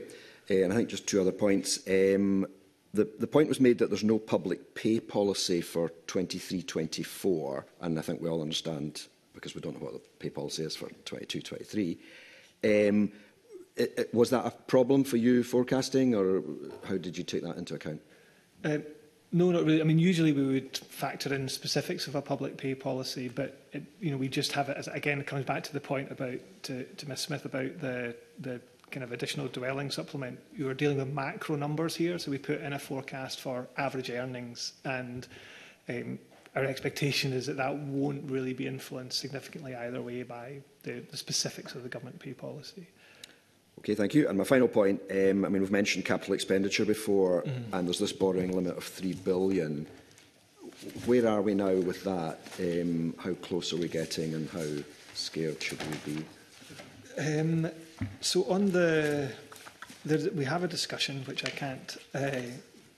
for the life of me. Actually, on page 35 of the report, we talk about where we are on the on the trend for for borrowing. So I think it's, it talks there in paragraph 2.50, the capital debt stock is currently at 6% of the overall limit. And I think what we talk about in there is, is the government's policy of 250, trying to borrow 250 million and then yeah. top it up with 200 million of other.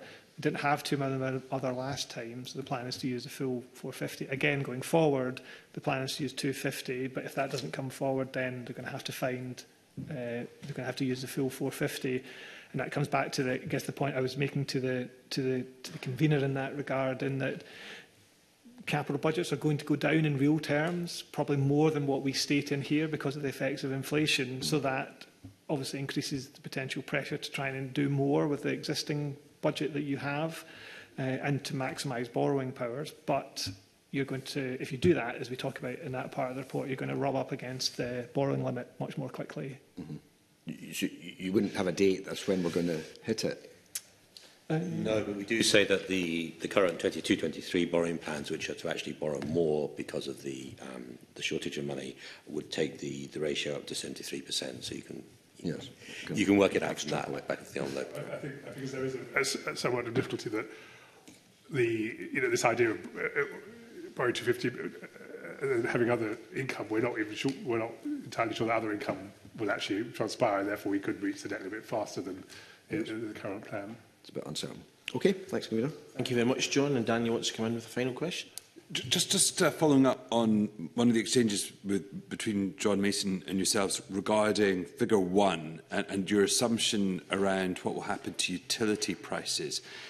C can I just clarify, is your December 22 position that we will see a fall in utility prices? And if so, what, what assumptions is that based on? Because I mean, it, it strikes me that we are in a classic supply and demand uh, situation here in that supply has been reduced because of essentially the, the taps from Russia being switched off. Uh, and therefore, the only way that we would see significant fall is either by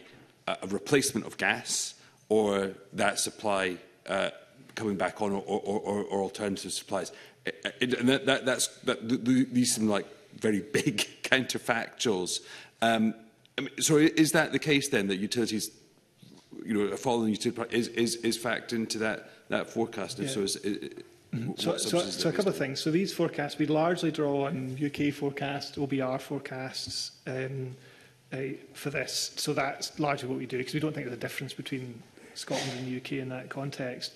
And you're right, so there's, and this, there's a number of things going on in inflation at the moment. So we've, we've spoken a lot about energy prices and utility prices, and that's obviously the key driver. I also mentioned the supply side shocks that we've seen as well, the legacy effects of COVID coming through in all of that as, as well. And I think the general expectation is that we've had a huge spike in energy prices, and essentially they will um, come down slightly but remain higher. And if you think about how you calculate inflation, if you have a price of 100 and it becomes you know, uh, it goes up 10%, so you get inflation of 10%, it's 110. Next year, if it falls back to 108, you get, you get negative inflation from that year to the next of approximately minus 2%, but you've still gone over two years from 100 to 108. So it's the price level that is really important, not so much the inflation. Inflation is measuring the change. So as Francis was saying, the fact that the energy prices have spiked and might come down slightly then that will be reflected in initial spike in inflation and coming back down. It might tip negative, but prices are still that level shift up compared to where they otherwise would have been. And that's the that's a debilitating effect on government spending, and it's also the impact on households as well. I Just to pick up on because I think it's interesting your point about utilities because I think you know the price I was talking about was basically the, the the futures price in the, the, the sort of supply price in in, in the market. Now with uh, oil prices, there's a quite a, I mean, a pretty strong relationship between the market price of oil and the uh, and price of petrol pumps. pump. So we're already seeing that effect come through with gas prices. To the extent to which that comes through into your electricity bill and your gas bill is more complicated, more complicated than I can understand because it's because the, the, the obviously the companies themselves do a huge amount of hedging, and therefore when the when you see the price comes down, it doesn't immediately say, oh, you know, we can cut our prices because they probably already have have hedged the, the, their future supply and have already paid for it. So, so I think, I mean, I'm really just saying the effect on the actual utility prices that we pay, I, I'm not 100% sure that those will fall, even if the market price has fallen. Good. Uh, uh thank you. That was a helpful clarification. Okay. Okay, thank, thank you very much. I'd like to thank our witnesses for their uh, answering questions today and indeed colleagues for their questions. I now uh, close this meeting and just like to wish everyone a very Merry Christmas, a restful festive break and a happy and prosperous New Year.